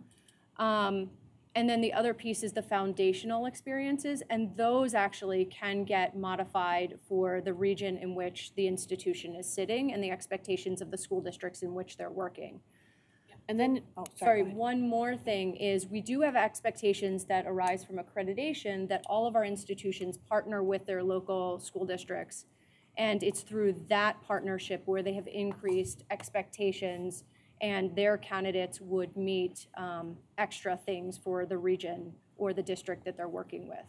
And I'll add one thing from our team's perspective. They support all of our educator prep institutions, but in a, in a commitment to continuous improvement, they do different types of supports with different institutions based on the needs that come out of things like accreditation or the accountability score. So they would know that X institution was struggling with onboarding the literacy standards and would provide additional technical assistance to get them to quality. So that's just part of our internal work about how we help institutions. And then we do, um, what we, part of that work is we do work with institutions in specific regions. So um, Wayne State has an urban focus set of programs where they're working with, say, Detroit or others, where we have talked with them about other supports that they provide for the district and how they're tailoring their programs and how the partnership between the two is coming back and helping them continuously improve their programs. Um, so there are regions where we're working with the institutions to do that. So, so a candidate who's in the teacher prep program, who is planning to go and be an urban educator, might have, will, will learn the standards the same as someone else, but is, but there's, so I'm just wondering if there's any extra, and it sounds like there's extra supports, but it's up to the institution to provide it with their partnering districts, is that? Yeah, and the requirement is for the partnering districts to inform the preparation program as well. And so it's through that link that there are extra supports and extra resources and extra things for those candidates. So is- does the, the department have any role in overseeing that? And then when there's an assessment, or you're saying you get this data, I'm assuming that's test scores, back, is there a consideration um, given um, about the unique challenges of a particular district and, um, and, and ensuring um, that the institution itself is not um, penalized in a negative way. Yeah. So there's a couple assessment pieces in here. I just want to lay them out so that we're clear what we're talking about. One is every candidate in Michigan has to take a, uh, the Michigan teacher test for certification. So I- I think Sean used the word assessment about this. There are, we need to be able to assess every teacher on, do you know this? Know these standards. So that's the teacher test. Um, we just worked with the legislature to have the test for basic skills removed. So that um, hopefully will help us with a barrier that was, we think was restricting the pipeline for some candidates who were qualified to learn to be a teacher. And so it should, so that's positive, especially for some of our areas that um, we want to recruit more, more people into the profession. So that's teacher assessment. Students in um, schools take, as you know, assessments in grades three through eight and 11. And then according to the Michigan Educator Evaluation Law, uh, starting this year, actually, um, the results of those uh, growth from those assessments is required to be used in teacher evaluation in a way that's determined locally by the districts. Those evaluation labels roll back to the institution for new teachers. Um, that's a part of how we look at how the institution performs. It's not the whole piece. It's actually a relatively small piece, and I think, well, it's it's small, but it, the point on triangulating data and that how your evaluation plays out might be related to how you are. But teacher evaluations as well triangulate data. So it's not all growth data, it's also observational data and other pieces of practice. So in, if the system's working well, Lots of different types of data are used at the teacher level, which then rolls back to the institution level, where we also use lots of types of data to think about institution progress. The accreditation, when Sean was talking about data there, that's a whole slew of um, placement data and surveys and satisfaction and you know there's it's a lot of some of it might be related to assessments but it's more about where did they go and how did they do and how did they do much broader than how their kids did on assessments. How did they do as teachers in professional practice communities? So i know that's a long answer but trying to get at um, are institutions penalized for preparing teachers to go into our neediest areas? I would say no. No. Actually, they're supported to do that. So we've been supporting um, types of programs and helping them develop types of programs for specific needs. So um, MSU, for example, had a program um, for people transitioning into teaching who were from math and science, and they had masters in math and science degrees, but they were specifically going for urban teaching and hoping to go into Detroit. So that's a type of, of program that instead of penalizing them, that we would try and figure out how to work with and build, and then help them get their people to place in Detroit. Uh, Concordia University has developed a partnership with East Detroit Public Schools for growing their own teachers, and so that's very tailored to a specific environment. Um, And they're, they have the obligation to, to demonstrate that the teachers have, you know, they master the, the things that they need to master, um, but also that they have a, we sort of hold them harmless from um, maybe other elements of, of, of program review, but because that's going to be very tailored to the needs of East Detroit Public Schools, or Eastpointe, sorry. Uh, Yeah, Eastpointe.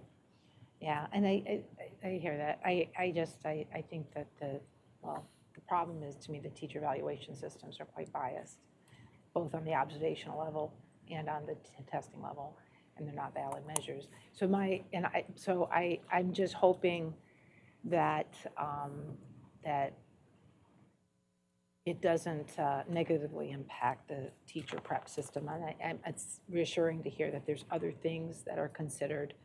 Um, But I, I, I really, especially when teachers are in their first years, when they're, they're just getting their sea legs, you know?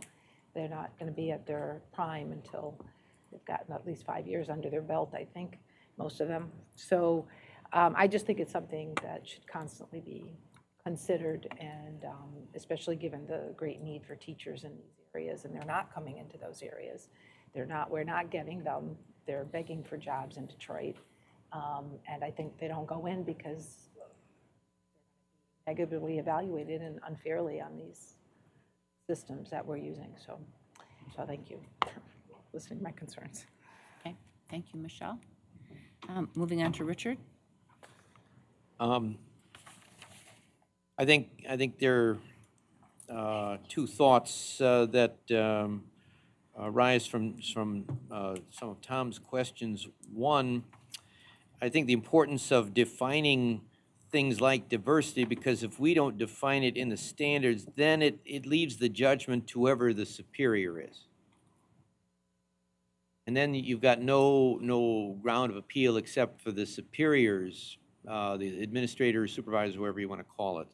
Um, and, and that, that leaves it to subjective judgment. And, and in areas of diversity and, and what constitutes diversity and its, and its relative value, uh, there's, uh, you know, um, that's not an accepted, there, there are differing of opinions. Um, and, uh, and they tend to be political opinions. So I I think that we need to be careful um, in, in trying to make these things clear. And the other issue, I think that uh, maybe, you know, when you talk about bias, we, we all, every speaker has perspective. But when we call it a bias, we're inviting people to dismiss it.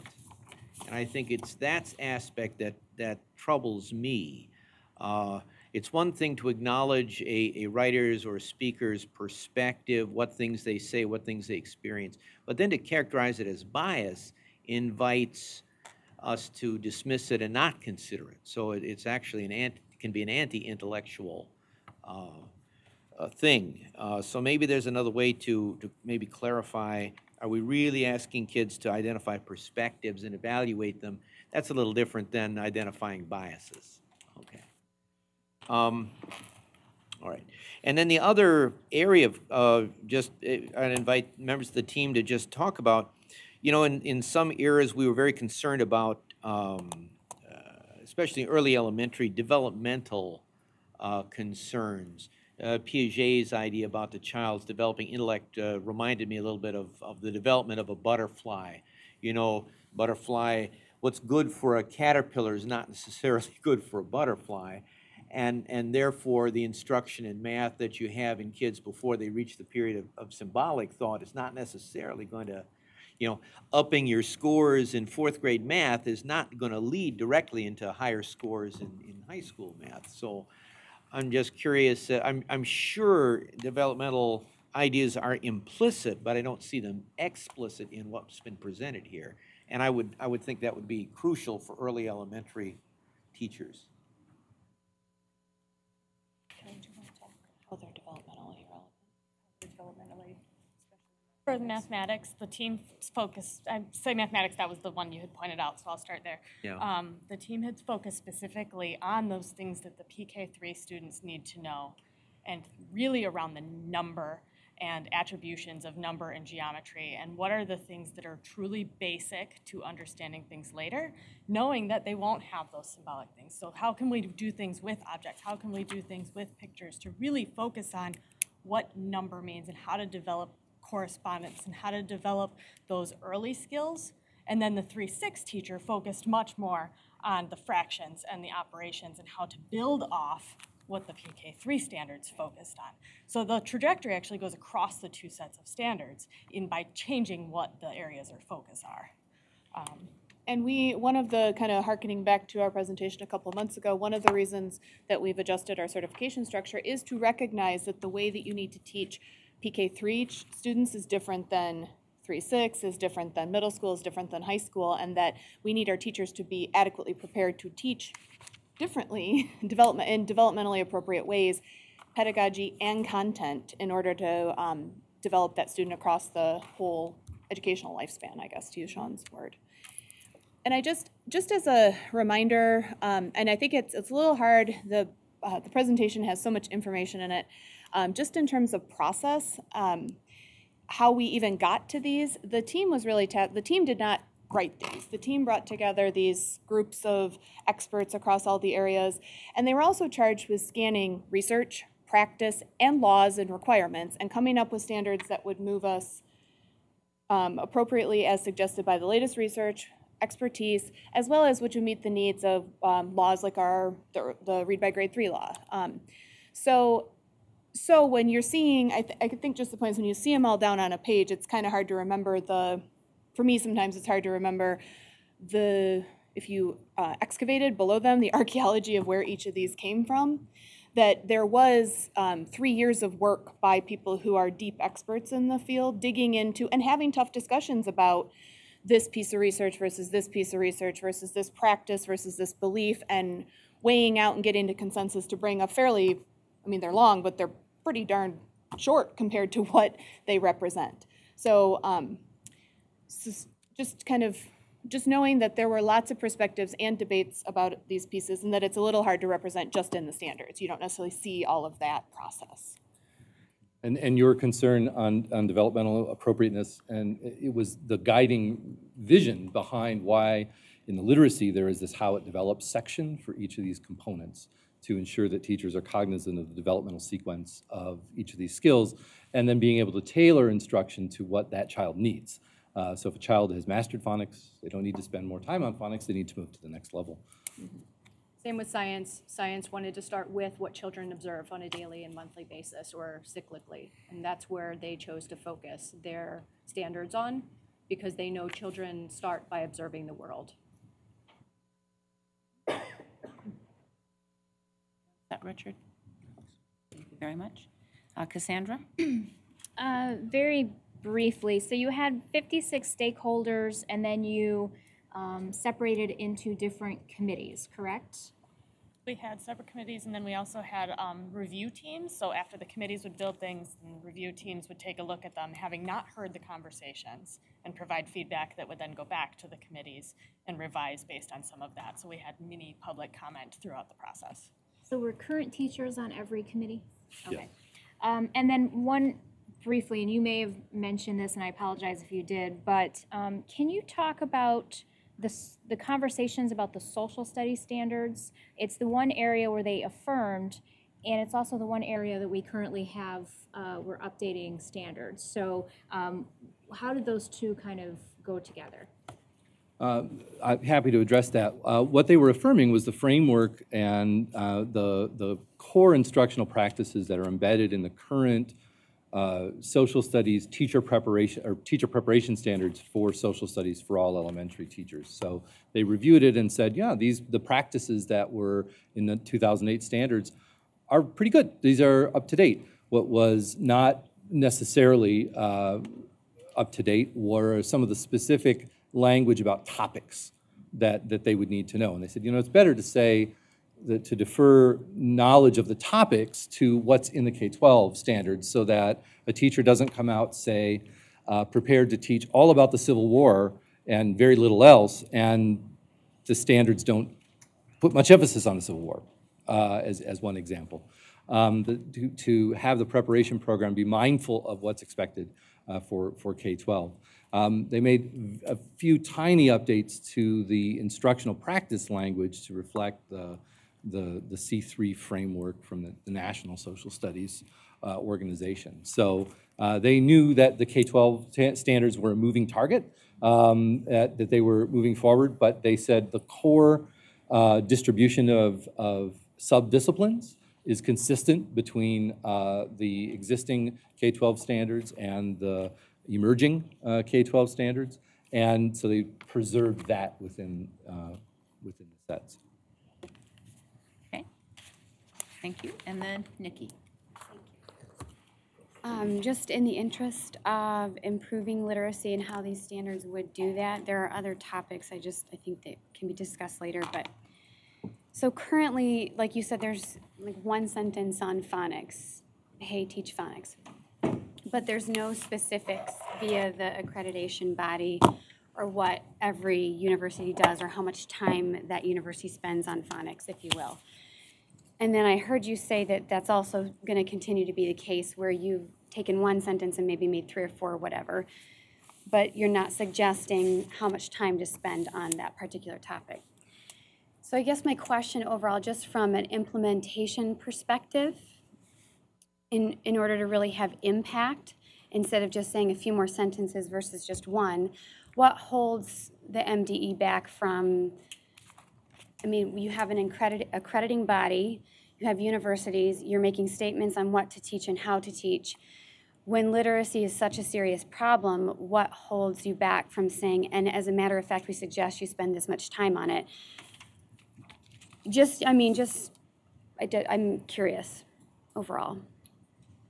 I mean, I, the team might have a different answer, but I think we, uh, as the State Department, we try to stay away from, in a lot of senses, uh, you know, the seat time idea of spend three hours and then you learned a lot about phonics. Well, you might have spent three hours doing nothing, you know. So we don't necessarily get into prescribed times, but I think the the the proportion of the standards reflected by the topic suggests its importance in the preparation. So in our technicals, also the other thing is institutions might have innovative ways to approach the teaching of phonics. So while one institution might be like, I'm just gonna sit them in a classroom and show them PowerPoints, another might do a combination of clinical placement and field experience and uh, blended learning and find that to be a more effective way to have their, their students learn. So how do you count that time? So that's why we don't get into hours or days or credit hours. Also, every institution has their own version of credit hours and semesters and whatever. But we do want to, to your point, though, escalate the importance of literacy instruction and these standards,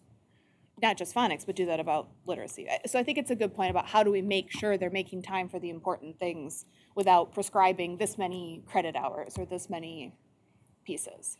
Do you guys have anything to add? Yeah, I'll add one, and then Sarah has another. Um, There's a a constitutional limitation to what we can prescribe um, for our, our colleges and universities.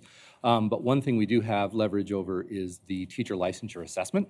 And so right now, for the element, the elementary teacher assessment uh, is one test.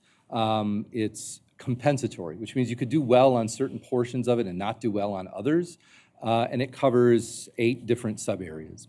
Um, and so you could, for example, um, be great, know, know your stuff in math, know your social studies and science, and the arts, and health, and PE, and world languages, and not really know much about literacy, and still pass the test and become licensed. The licensure test that we are, that we're building in this has non-compensatory section on literacy, also a non-compensatory section on mathematics. So each of those sections uh, is about the size of the current, in, in the framework we have, is about the size of the current elementary assessment for all the topics, grades K-8.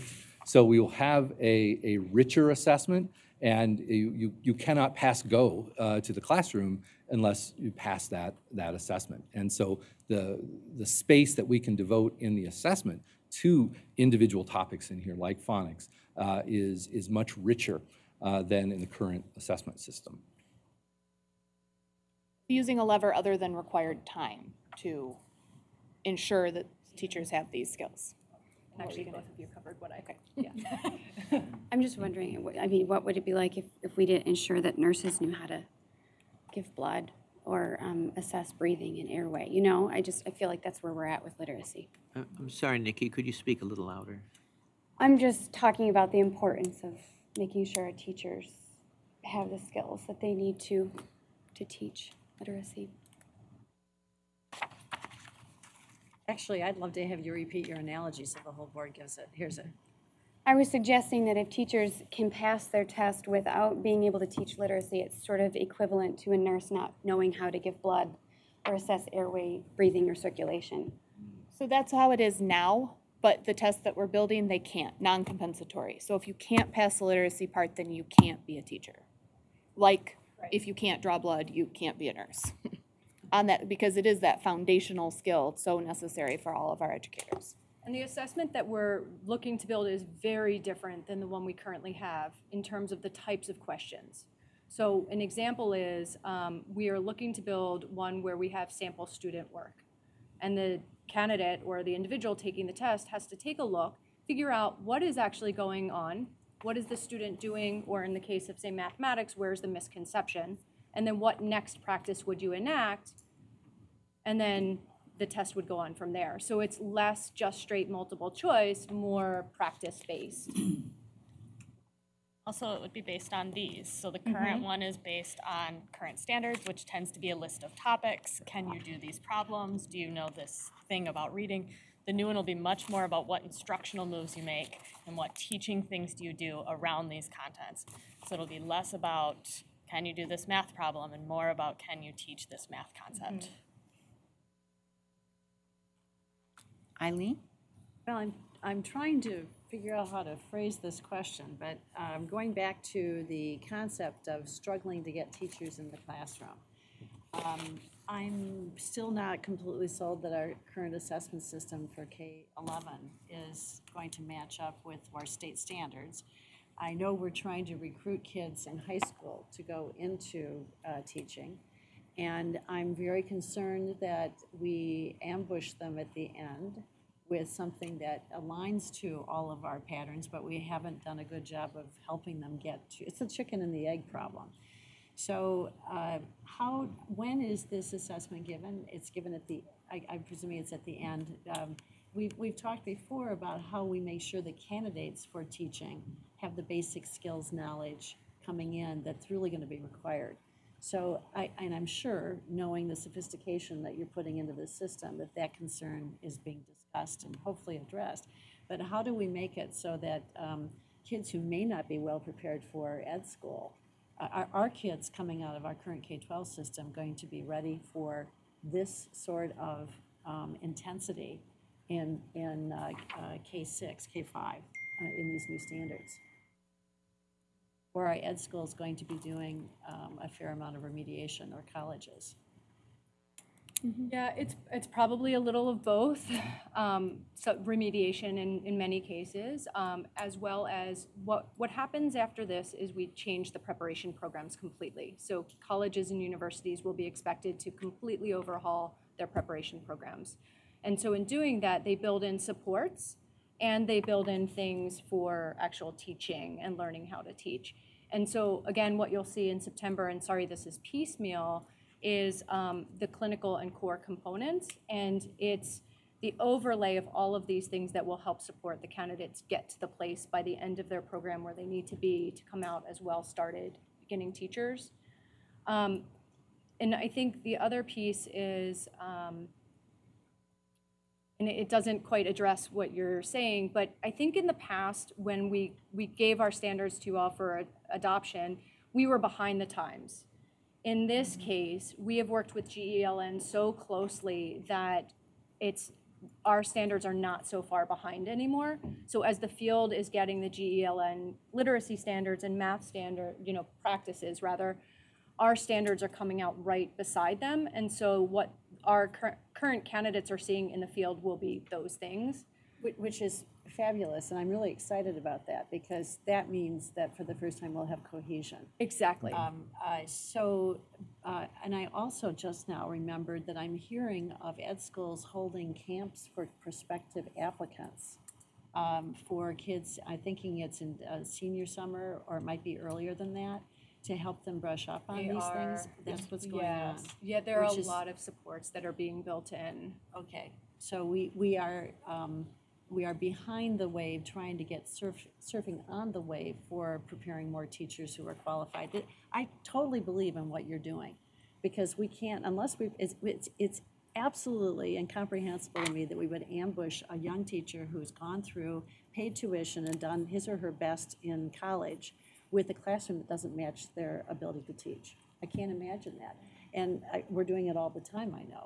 So uh, I'm, I'm hopeful that that part will work, but then I'm really concerned that we prepare our candidates before they go to ed school for what they're going to face because K-12 probably has not done that at the moment with these changeovers and the fact that we see state, state testing. Crossed. Yeah. We'll keep that in mind as we Yeah. continue to build. Yeah, Thanks. Okay. Any other, any other comments or questions from board members? All right, I'd like to thank our MDE team for their presentation today and also for engaging with the Board of Education on a very robust conversation this morning on the proposed teacher preparation standards, so thank you. The next item on the Committee of the Whole agenda is a presentation on Partnership District Model Update. This presentation this morning provides an update of the onboarding process of Round Three Partnership Districts and an update on the Benton Harbor area schools. Um, This is an information item only today. Um, There will be no action required.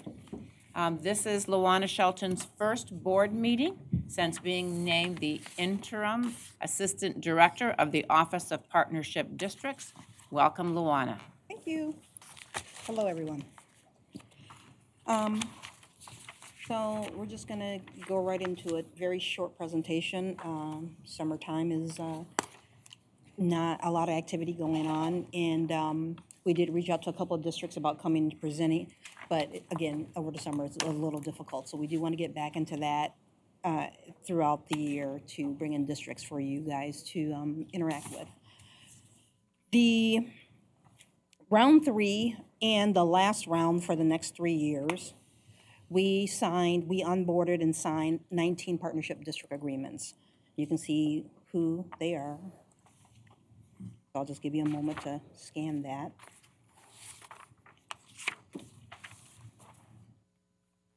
May I just make a request? Uh, In the future, if it's not, if the community where the school is located isn't in the title, if you could just uh, put, put that as an add-on? Thank you. Absolutely. Thank you.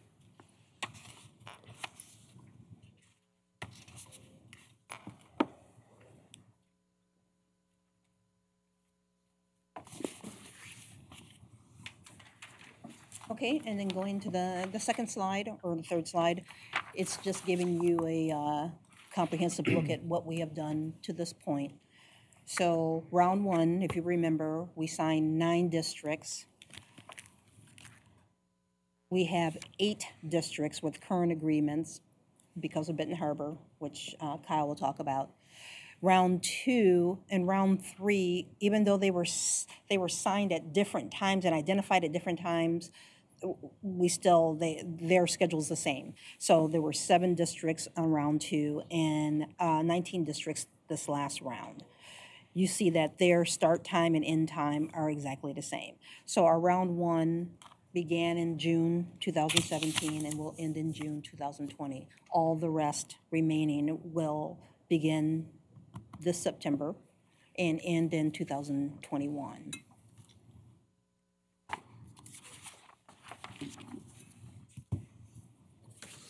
So as you are aware, um, Benton Harbor, um, enter, uh, um, entered into a cooperative agreement, um, with us, um, as an extension, uh, a revision of their partnership agreement. Um, uh, Dr. Bob Herrera was identified, uh, as the CEO to head, uh, this agreement, uh, with the district. He started a little under four weeks ago. Um, his focus has been, in his limited time there, has been on staffing and personnel, the finances of the district, and leveraging new partnerships to support learning and instruction. Um, uh, I've been down there with our treasury partners uh, twice in the last uh, three weeks to meet with him and board members and other, others in the community to get a handle on uh, the focus and help um, uh, both he and the board start to uh, transition to their new roles the, and what their roles and responsibilities are under the um, cooperative agreement, because they look different in both instances. Um, uh, They had their first uh, board meeting and advisory, community advisory board meeting uh, this past Tuesday, uh, which gave Dr. Ray the first time to address not only board members, but um, also community members on his progress and the work, his work uh, in the district uh, since he started, um, again, about four weeks ago. Okay, and then our last slide is just to remind you that with round one that signed a year ago, their 18-month goal time will be January 2019. So there'll be much more to come on that in your monthly updates as we get closer and how that's, how we're going to approach that and roll, and roll it out and report back to you how they are doing. That's it. Okay. Before I open it up to questions or comments from board members, I'd like to welcome Kyle um, Guerrant to the table. Kyle Guerrant is our interim um, SRO. Um, So we're glad to have you joining us, Kyle, and we appreciate you accepting the interim position. Yes. So, uh, just uh, kind of big picture, uh, does the, does the, does MDE feel there's any districts that are not on track? You know, that are um, concerns that um, we're going to read about in the paper in a year from now that uh, things didn't work out and we got to close them or, you know, there's some other, something else is going to, you know, is there any, any trajectory that is disturbing at all? Well, obviously, Benton Harbor has moved into another level of, of accountability, so that was one of our key concerns. Um, all of the other ones, you know, I think the, the work with partnership districts, we know that the work is challenging, that they're dealing with challenging situations, so there's course corrections and, you know, no one else is in a Benton Harbor type of situation, I guess is a good way to put it. We also, you know, outside of the big markers, I wouldn't want to say publicly, so-and-so looks terrible right now because we're a little preemptive on that. So we are tracking data, we are doing, you know, where we watch things like, are you drawing down your grant funds? Are you getting your programming in place? Are you staffed up? There are bumps and highs and lows and some are doing, you know, and again, the work is challenging. So people will be cruising along and then they'll hit a bump and we kind of try to help them. So no one is at the point where we're at with Benton Harbor is probably the best way to say it. So, but as we approach the 18 month, we need to be ready to have tough conversations where appropriate. Um, First off, uh, what proportion of Michigan students, we've got about a million and a half, what proportion of them are in partnership districts? That's a really good question. Well, let's see here. So is that an- 50,000 in Detroit and then. Is that an answer that we could We put can- into we the can board? get- Yeah, yeah, I was briefs? trying to We'll think if I you- could get- Get an it answer, quickly in Richard, my and head. put that That'd be board fine, briefs. okay. Um, And my other thought is, um, uh, we, some districts are in trouble because of finances, others are in trouble because of academic achievement. Presumably, all these are, the partnership districts are for academic achievement. Uh, Do those two sets of problems tend to go hand in hand? How, how much correlation is there between uh, financial, financial trouble and, and academic trouble? Are there any uh, examples of the one without the other, or are they very common? I'm just curious. So you're absolutely right that there are districts in academic distress, there's districts in financial distress, and there's a pretty big Venn between the two of those. Um, the partnership districts are not all in financial distress, but most of them are. Most of them were deficit districts or were in other forms. There are a set of deficit districts who are not partnership districts. So like I said, there's a Venn on either side. It's about seventy percent. Yeah. It's But about our- a seventy percent overlap. Our- Our programming with the partnership districts focuses on all of it, finance, academics, non-academics, staffing, the whole, the whole work. And actually, a lot of the work that we do with deficit districts through the financial independence team also merges academics and finance, even if you're not a partnership district. Any other questions or comments? Pam? I, you know, I, I will just have to say that I was at a meeting, I can't even remember how long ago it was, that I um, went into. And one of the questions that was being asked, and I've, it was the Saginaw School District, so they're on the 18 month, um, they're coming up on their 18 months. And so their question was, you know, how can MDE assure them that, that, that we're stabilized enough to make sure that we have the appropriate personnel that's going to remain there and stay there and stay the course because we've been building up um, while they're uh, coming online, those districts that are the 18 months, meaning we had uh, Dietrich and then they were waiting for what you're Dietrich, he I see what came, he left. Um, and then, so that was the question that I heard them ask their liaison. Um, how do we know that you're going to stay the course with us? So that was one, you know, that was one of the questions that I heard asked. Um, I still hear about making sure that there's transparency, um, meaning that the community doesn't always uh, hear back. I, and I know that some districts are better at partnership than other districts. So some districts may understand how to partner with their community and making sure that their community are on board. Some districts are understand the necessity and the power of partnership better than, than other districts.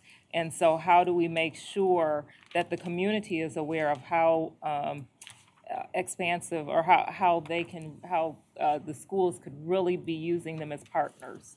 Um, and when I talk about partners, I mean everything from parents to community members to, you know, a business. But how do we make sure that we're, how are we making sure that we're doing that?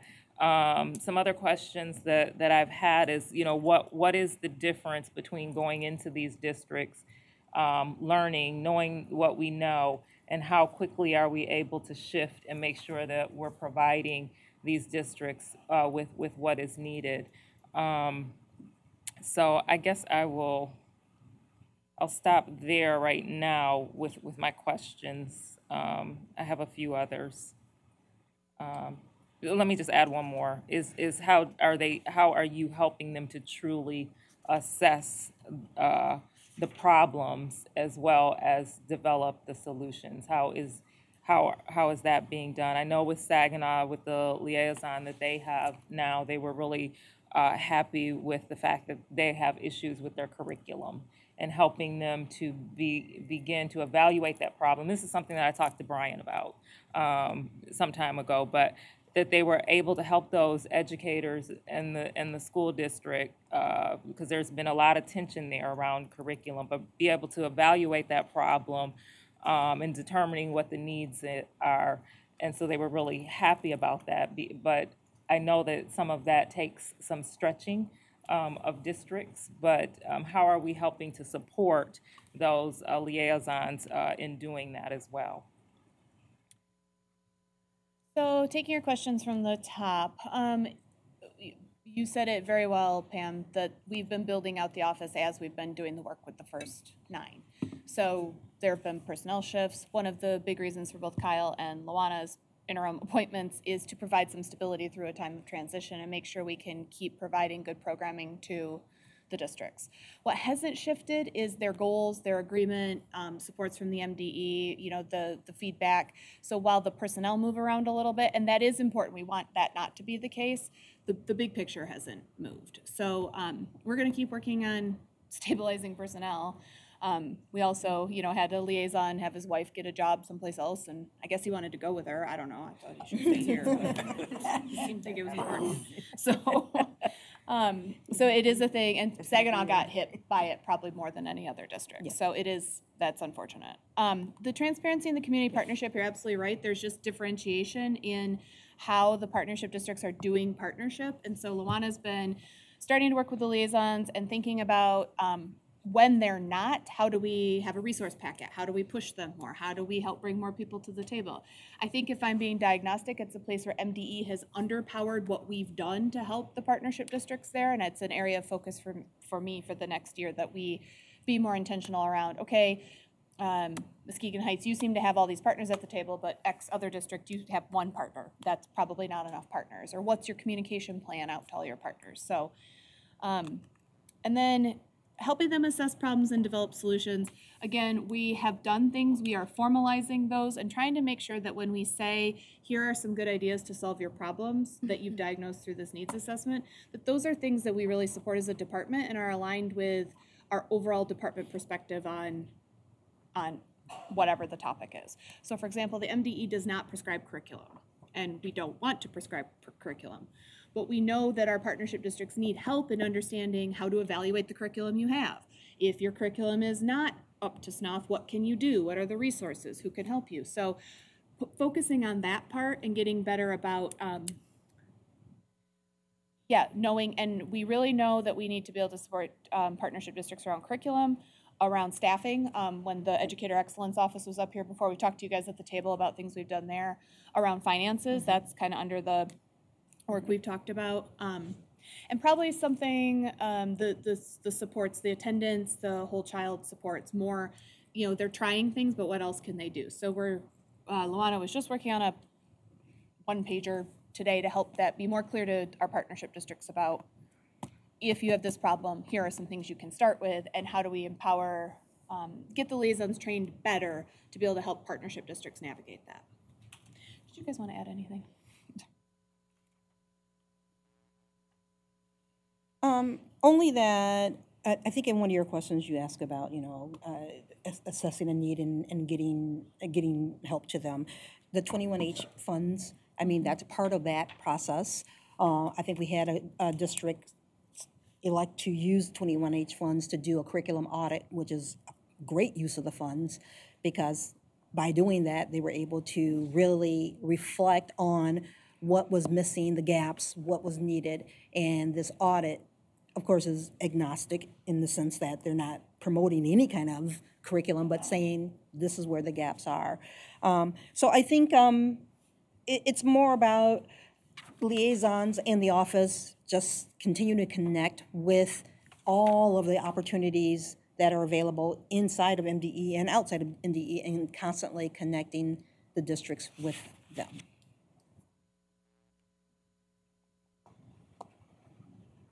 Any other questions or comments?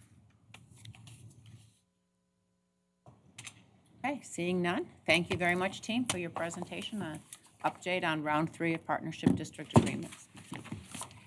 And with that, I believe we will recess for lunch and uh, reconvene at 1